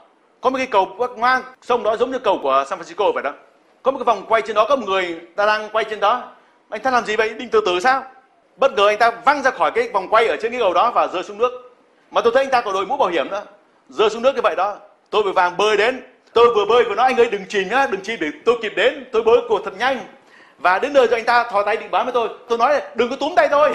Tôi túm rồi anh ta dùm tôi thật và tôi lôi tôi lật người anh ta ra để anh ta ngửa lên thở và tôi kéo được anh ta tôi, tôi lôi. Và tôi lôi thì cuối cùng thì tôi ở trên thuyền của anh ta. Nhưng mà khi tôi lôi đường dài như vậy đó thì tôi phát hiện ra là trời đã gần tối rồi. Thì phát hiện ra thuyền tôi đã vào mép núi rồi vì núi đá. Tôi mừng quá. Và đến núi đá là sống rồi. Như vậy thì tôi đưa anh ta lên trên bờ và tìm một cái nơi ẩn náu như một cái lều đó bởi vì như hòn đảo vậy đó và tôi tìm ra một cái lều và đưa anh ta vào. Mình phát hiện ra cái nơi này đó, ngày xưa người ta đã từng đến cái từng ở và có rất nhiều đồ đạc để lại như đó. Và tôi tìm những đồ đạc tôi cần có thể đó được để tìm kiếm đồ ăn mình có thể ăn được. Tôi phát hiện ra có thổ dân, có thổ dân cái đó, người ta đang à, vui chơi thỏa thích ở cái bãi biển đó. Và tôi đến hỏi cái người thổ dân đó, đây là đâu? Người ta nói với tôi bằng tiếng anh này, Salomon Dream. Tức là giấc mơ của Salomon. Anh ta đưa tôi vào một cái thành. Cái thành đó xây mà cây cối mọc lên cây có rất nhiều màu sắc mọc bao quanh cái thành đó mà rất nhiều màu sắc đẹp đó từng tầng lớp lớp vào đó. Và thấy những cái cửa sổ bằng à, lỗ đá như vậy đó tôi nhìn vào trong đó là các vách nữa. Như vậy tôi không thể vào được bởi vì nhìn được qua vách này vướng vách kia như vậy các cái vách đá có cái lỗ xô le, mình không thể nhìn suốt vào bên trong thành được. Một người thổ dân mở cái cửa bên trong ra để tôi bước vào trong thành đó. Và tôi vào trong thành đó rồi tôi đến được cái nơi mà khi xưa Salomon đã hưởng thụ tại đó người ta ăn uống những trái nho, những sự vui thỏa, những sự ờ, sung sướng dục túc của thời gian đó. Chiêm bao tiếp tục dài nữa và tôi tỉnh dậy. Tôi trở về thời kỳ ngày xưa của Salomon vậy có nghĩa gì? Cho nên là tất cả một sự có kỳ định. Ta đã tỏ cho con sự trong quá khứ đó, con đang giảng những bài về công việc của ta. Rồi con sẽ hiểu, vì ta không cho con chiêm bao không liên quan đến cái bài giảng của ta đâu. Nó liên quan đó con cứ biết đi, rồi đến kỳ ta sẽ giảng cho, tôi cảm tạ chúa nên khi ta có chiêm bao, hãy ghi xuống thật chính xác để nhớ đến kỳ chúa sẽ cho ta biết được cái sự bổ nhiệm của lời ngài để dân Israel có thể tin cậy vào các mạng lệnh cùng các điều răn mà ngài đã ban cho môi xe để chép xuống Đức Chúa đã từ trên trời phán xuống cho dân sen nghe tiếng Ngài để tin được điều môi xe giảng. Khi tôi giảng bài giảng trường Chúa Nhật, thì đêm hôm qua Chúa cho chị Bạch Tuyết những cái chiêm bao lạ lùng. Để khi tôi giảng chị hiểu ra cái ý nghĩa của bài giảng này liên quan đến trên bao của chị như thế nào. Chúa ban cho môi xe ở trên núi nhưng lại cũng phán xuống cho xe nữa để họ nghe được tiếng Chúa đó. Hầu khi môi xe từ trên nói xuống đó chắc chắn là môi xe ở trên núi làm sao nghe được tiếng này nhưng mà dân xe nghe hầu cho hai chứng thì đáng tin nếu Chúa cho tôi tú Chúa giảng ra, Ngài có làm việc trong lòng dân sự của Chúa để họ có thể amen được cái bài giảng này là đúng.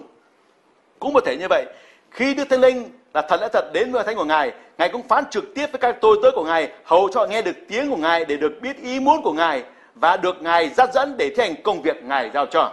Công vụ các sứ đồ đoạn 8 câu 26 đến 40 chép. Bây giờ có một thiên sứ của Chúa phán cùng Philip rằng hãy trở dậy đi qua phía nam trên con đường từ thành Jerusalem xuống thành Gaza Đường ấy vắng vẻ, người chờ dậy và đi. Kỳ có một hoạn quan Ethiopia là quan hầu của Candac, nữ vương Ethiopia, coi sóc hết cả kho tàng bà, đã đến thành Jerusalem để thờ phượng. Khi trở về, ngồi trên xe mà đọc sách tiên tri Esai, Đức Thánh Linh phán cùng Philip rằng hãy lại gần và theo kịp xe đó. Philip chạy đến, nghe người Ethiopia đọc sách tiên tri Esai thì nói rằng ông hiểu lời mình đọc đó chăng? Hoạn quan trả lời rằng nếu chẳng ai dạy cho tôi, thế nào tôi hiểu được? Người bèn mời Philip lên xe ngồi kề bên và cho người đọc trong kinh thánh cốt là đoạn này. Người đã bị kéo đi như chuyên con đến hàng làm thịt, lại như chuyên con câm trước mặt kẻ hỡ lâm. Người trắng mở miệng, trong khi người hèn hạ thì sự đoán xét người đã bị cất đi. Còn ai sẽ kể đời của người vì sự sớm người đã bị rút khỏi đất rồi. Hoàn quan cất tiếng nói cùng Philip rằng, tôi xin hỏi ông, đấng tiên tri đã nói điều đó với ai? Có phải nói về chính mình người chăng hay là về người nào khác? Philip bèn mở miệng bắt đầu từ chỗ kinh thánh đó mà rao giảng Đức Chúa Giêsu cho người. Hai người đang đi dọc đường gặp chỗ có nước. Hoạn quan nói rằng này nước đây có sự gì ngăn cấm tôi chịu phép báp têm chăng? Philip nói nếu ông hết lòng tin điều đó có thể được. Hoạn quan trả lời rằng tôi tin rằng Đức Chúa Giêsu Christ là con Đức Chúa Trời. Người biểu dừng xe lại rồi cả hai đều xuống nước và Philip làm phép báp têm cho hoạn quan. Khi ở dưới nước lên thì thánh linh của Chúa đem Philip đi. Hoạn quan chẳng thấy người nữa, cứ hớn hở đi đường. Còn Philip thì người ta thấy ở trong thành Asot. Từ đó, người đi đến thành Cesare cũng giảng tin lành khắp những thành nào mình đã ghé qua. Công việc của Đức tin phán với lại Philip vậy. Và Ngài cũng mở lòng cho hoạn quan YouTube Ngài đến để phán cho chúng ta. Đã tới người được tái sanh lại rồi. Chúng ta nghe được tiếng của Ngài. Công vụ các sứ đồ đoạn 10 câu 9 đến 48 chép. Bữa sau, trong lúc ba người ấy đang đi đường, đã đến gần thành, vừa nhằm giờ thứ sáu, Führer leo lên mái nhà để cầu nguyện. Người đói và thèm ăn. Khi người ta đang dọn cho ăn, thì người bị ngất trí đi. Người thấy trời mở ra và có vật chi giống như một bức khăn lớn níu bốn chéo lên, giáng xuống và xa đến đất. Thấy trong đó có những thú bốn cẳng đủ mọi loài, côn trùng bò trên đất và chim trên trời. Lại có tiếng phán cùng người rằng, hỡi Führer, hãy dậy, làm thịt và ăn. Xong Führer tứ rằng, lạy Chúa, chẳng vậy, vì tôi chẳng ăn giống gì dơ giấy chẳng sạch bao giờ. Tiếng đó lại phán cùng người lần thứ hai rằng, phàm vật chi Đức Chúa Trời đã làm cho sạch thì chớ cầm bằng dơ giấy. lấy đó lặp lại ba lần, rồi vật ấy liền bị thâu lên trời. Führer đang nghi ngờ về ý nghĩa của sự hiện thấy mình đã thấy. Thì các người mà còn đây sai đi đã hỏi thăm được nhà Simon và tới đứng tận cửa. Họ kêu và hỏi đây có phải là nơi Simon tức Führer ở chăng? Führer còn đang ngẫm nghĩ về sự hiện thấy đó thì Đức Thánh Linh phán cùng người rằng kìa có ba người đang tìm ngươi phải hãy đứng dậy xuống mà đi với họ chớ hổ nghi vì ta đã sai họ đó Phêrô bèn xuống cùng họ và nói rằng ta đây là người các ngươi đang tìm các ngươi đến đây có việc gì? Họ trả lời rằng đội trưởng còn đây là người công bình kính sợ Đức Chúa Trời cả dân Juda đều làm chứng tốt về người. Người đó đã bởi một vị thiên sứ thánh mà chịu mang lệnh từ nơi cao rằng phải mời ông về nhà và nghe lời ông. Phêrô bèn mời họ vào trong nhà và cho trọ tại đó. Ngày mai Phêrô trở dậy đi với họ. Có một vài người trong hàng anh em từ Joppe đi cùng với bữa sau đến thành Caesare, còn đây với bà con và bạn thiết mình mà người đã nhóm lại tại nhà mình đang chờ đợi. phía đơ vừa vào thì còn đây ra rước phục dưới chân người mà lại, nhưng phía đơ đỡ người dậy, nói rằng người hãy đứng dậy, chính ta cũng chỉ là người mà thôi. phía đơ đang nói chuyện với còn đây, bước vào thấy có nhiều người nhóm lại, người nói cùng chúng rằng người Juda vốn không được phép giao thông với người ngoại quốc hay là tới nhà họ nhưng Đức Chúa Trời đã tỏ cho ta biết rằng chẳng nên coi một người nào là ô uế hay chẳng sạch. Nên khi các ngươi đã sai tìm thì ta chẳng ngại gì mà đến đây. Vậy ta hỏi vì việc chi mà các ngươi mời ta đến? Còn đây trả lời rằng đã bốn ngày nay nhằm giờ thứ chín tôi đang ở nhà cầu nguyện. Thình lình có một người mặc áo sáng loà hiện ra trước mặt tôi mà phán rằng hỡi cọt đây lời cầu nguyện ngươi đã được nhận Đức Chúa Trời đã ghi nhớ việc bố thí của ngươi. Vậy ngươi hãy sai đến thành Jope mời Simon là Phi-rơ đến đây người đang ở tại nhà Simon, thợ thuộc gia gần biển. Tức thì tôi sai tìm ông. Mà ông đến đây là rất phải. Vậy bây giờ, thay thảy chúng tôi đang ở trước mặt Đức Chúa Trời để nghe mọi điều Chúa đã dặn ông nói cho chúng tôi. Phi-rơ bèn mở miệng nói rằng, quả thật ta biết Đức Chúa Trời chẳng hề vị nể ai, nhưng trong các dân hay ai kính sợ Ngài và làm sự công bình thì nấy được đẹp lòng Chúa.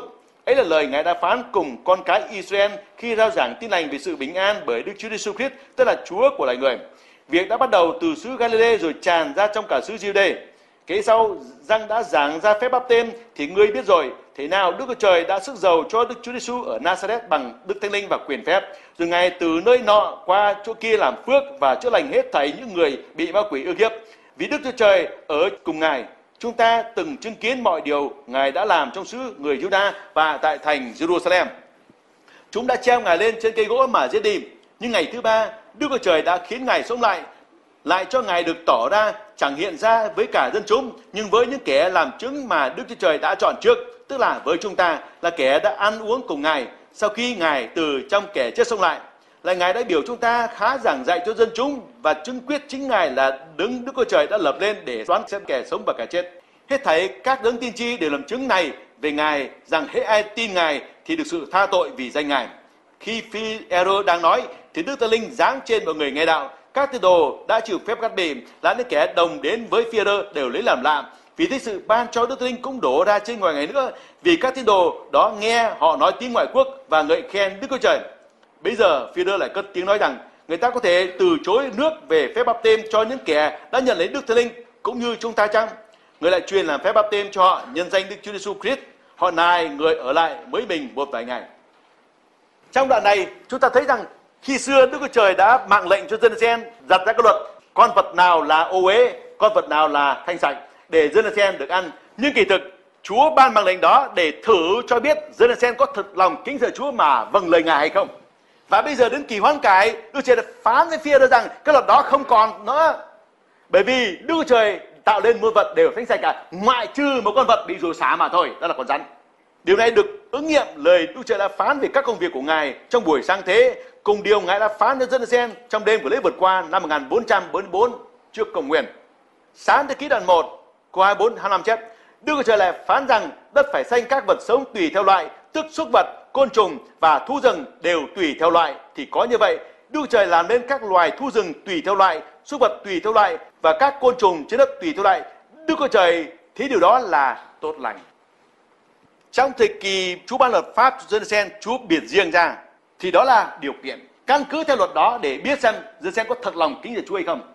Nhưng tất cả là cái bóng hình đã đến rồi, là Đức Chúa Jesus Christ đến rồi thì Chúa ban cho Peter biết khải tượng đó và Chúa phán là phải làm theo tiếng phán của Chúa. Vì chúng ta không thể chỉ làm theo luật pháp mà thôi, mà còn theo tiếng phán của Chúa nữa. Xuất y tôi ký đoạn 12 câu 47 đến 51 chép hết thầy hội chúng Israel phải giữ lễ vượt qua. Khi một khách ngoại bang nào kiều ngụ nhà ngươi, muốn giữ lễ vượt qua của Đức Giê-va thì mọi người nam của họ phải chịu phép cắt bỉm. Đoạn họ mới được đến gần giữ lễ này và được coi như người xanh trong xứ. Nhưng ai không chịu phép cắt bỉ thì chẳng được ăn đâu. Cũng đồng một luật cho người xanh trong xứ cùng khách ngoại ban nào đến kiều ngụ giữa các người Toàn dân Israel đều làm như lời Đức Giê-va đã phán dặn Môi-se và Aaron. Cũng trong ngày đó, Đức Giê-va rút dân Israel tùy theo quân đội ra khỏi xứ Ai Cập. Lời này đỡ nghiệm cho phi đơ phàm những vật mà Đức Trời đã không cầm bằng là ô uế nữa thì không được gọi là ô uế đâu. Chúa làm cho sạch rồi. Như vậy thì bất cứ người ngoại nào đó mà chịu phép cắt bỉ theo luật pháp của môi xe thì họ được có những người dân Israel, tức là sanh trong xứ vậy. Điều này cũng vậy. Ngày hôm nay chúng ta cũng thờ phượng Đức Diêu Va, nhưng mà trong danh của Chúa Jesus Christ chúng ta được cứu rỗi. Như vậy thì cũng một luật pháp Đức Trời đã ban cho môi xe được nghiệm truyền chúng ta và chúng ta thờ phượng Chúa theo cách mới của Đức Thánh Linh vậy. Ngày nay khi tâm linh của những người tin Chúa được nghe tiếng của Đức Thánh Linh thì điều đó đã minh chứng cho người ấy rằng tâm linh ở đó đã được sanh lại. Vì được gọi là dân của Đức Chúa Trời và là chiên của Ngài. Thi Thiên đoạn 95 câu 6 đến 1 chép Hãy đến cúi xuống mà thở lại khác quỳ gối xuống trước mặt Đức giê va là đấng tạo hóa chúng tôi vì Ngài là Đức Chúa Trời chúng tôi chúng tôi là dân của đồng cỏ Ngài và là chiên tay Ngài dìu dắt ngày nay nếu có người nghe tiếng Ngài thì chớ cứng lòng như tại Meriba, như nhằm ngày Masa trong đồng vắng, là nơi tổ phụ của ngươi đã thử ta, dò ta và thấy công việc ta. Trong 40 năm ta gớm ghiếc dòng dõi này, ta phán rằng ấy là một dân có lòng lầm lạc, chẳng từng biết đường lối ta. Nhân đó, ta nổi giận mà thấy rằng Chúa nó chẳng hề vào sự ý nghĩ ta. Và lời này đã được chép lại trong sách Hebrew để chúng ta biết rằng Chúa Thánh Linh đến để chúng ta hiểu rõ được cái thật bổ nhiệm dấu kín từ trong các văn tự từ các đời trước. Hebrew đoạn 4 câu 7 đến 19 chép cho nên như Đức Thánh Linh phán rằng ngày nay nếu ngươi nghe tiếng Ngài thì chớ cứng lòng như lúc lội loạn là ngày thử Chúa trong đồng vắng, là nơi tổ phụ các ngươi thấy công việc ta làm trong 40 năm mà còn thử để dò xét ta. Nhân đó, ta giận dòng dõi này và phán rằng lòng chúng nó lầm lạc luôn, chẳng từng biết đường lối ta. Này là lời thề ta lập trong cơn thạnh nộ rằng chúng nó sẽ chẳng hề vào sự nghỉ của ta. Hỡi anh em, hãy giữ lấy, kẻo ai trong anh em có lòng giữ và chẳng tin mà trái bỏ Đức của Trời hàng sống chăng? Nhưng hàng ngày, anh em hãy khuyên bảo lẫn nhau, đang khi còn gọi là ngày nay hầu cho trong anh em, không ai bị tội lỗi dỗ dành mà cứng lòng. Vì chúng ta được dự phần với đấng Christ, miễn là giữ lòng tin ban đầu của chúng ta cho vững bền cho đến cuối cùng. Trong khi còn nói rằng, ngày nay nếu người nghe tiếng ngài thì chưa cứng lòng như lúc nổi loạn. Và ai là kẻ nghe tiếng ngài rồi nổi loạn? Há chẳng phải những người mà nhờ môi xe dẫn ra khỏi ê tô sao? Đức chúa trời đã giận ai trong 40 năm? Há chẳng phải dẫn những kẻ phạm tội mà thấy họ đã ngã cho đồ vắng sao? Ngài đã thề với ai rằng không được vào sự ý nghĩ của ngài há chẳng phải với những người không vâng lời sao và chúng ta thấy những người ấy không hề vào đó vì cớ không tin thánh linh đến để chúng ta hiểu lẽ thật để chúng ta tin chắc vào lời của chúa để chúng ta không có nghi ngờ Bài này sẽ được tiếp tục trong tuần sau, chúng ta tiếp tục để nghe lời Chúa nữa. Giờ chúng ta cùng nhau đứng dậy cầu nguyện. Ta ơn Chúa về lời của Chúa ban cho chúng ta buổi sáng ngày hôm nay. Xin Chúa Thánh Linh giúp đỡ để chúng ta ghi nhớ được lời của Chúa và làm theo lời Chúa. Và cầu xin Thánh Linh giúp đỡ để chúng ta làm theo lời của Ngài được. Chúng ta cầu nguyện cho tân Linh giờ này. Hallelujah.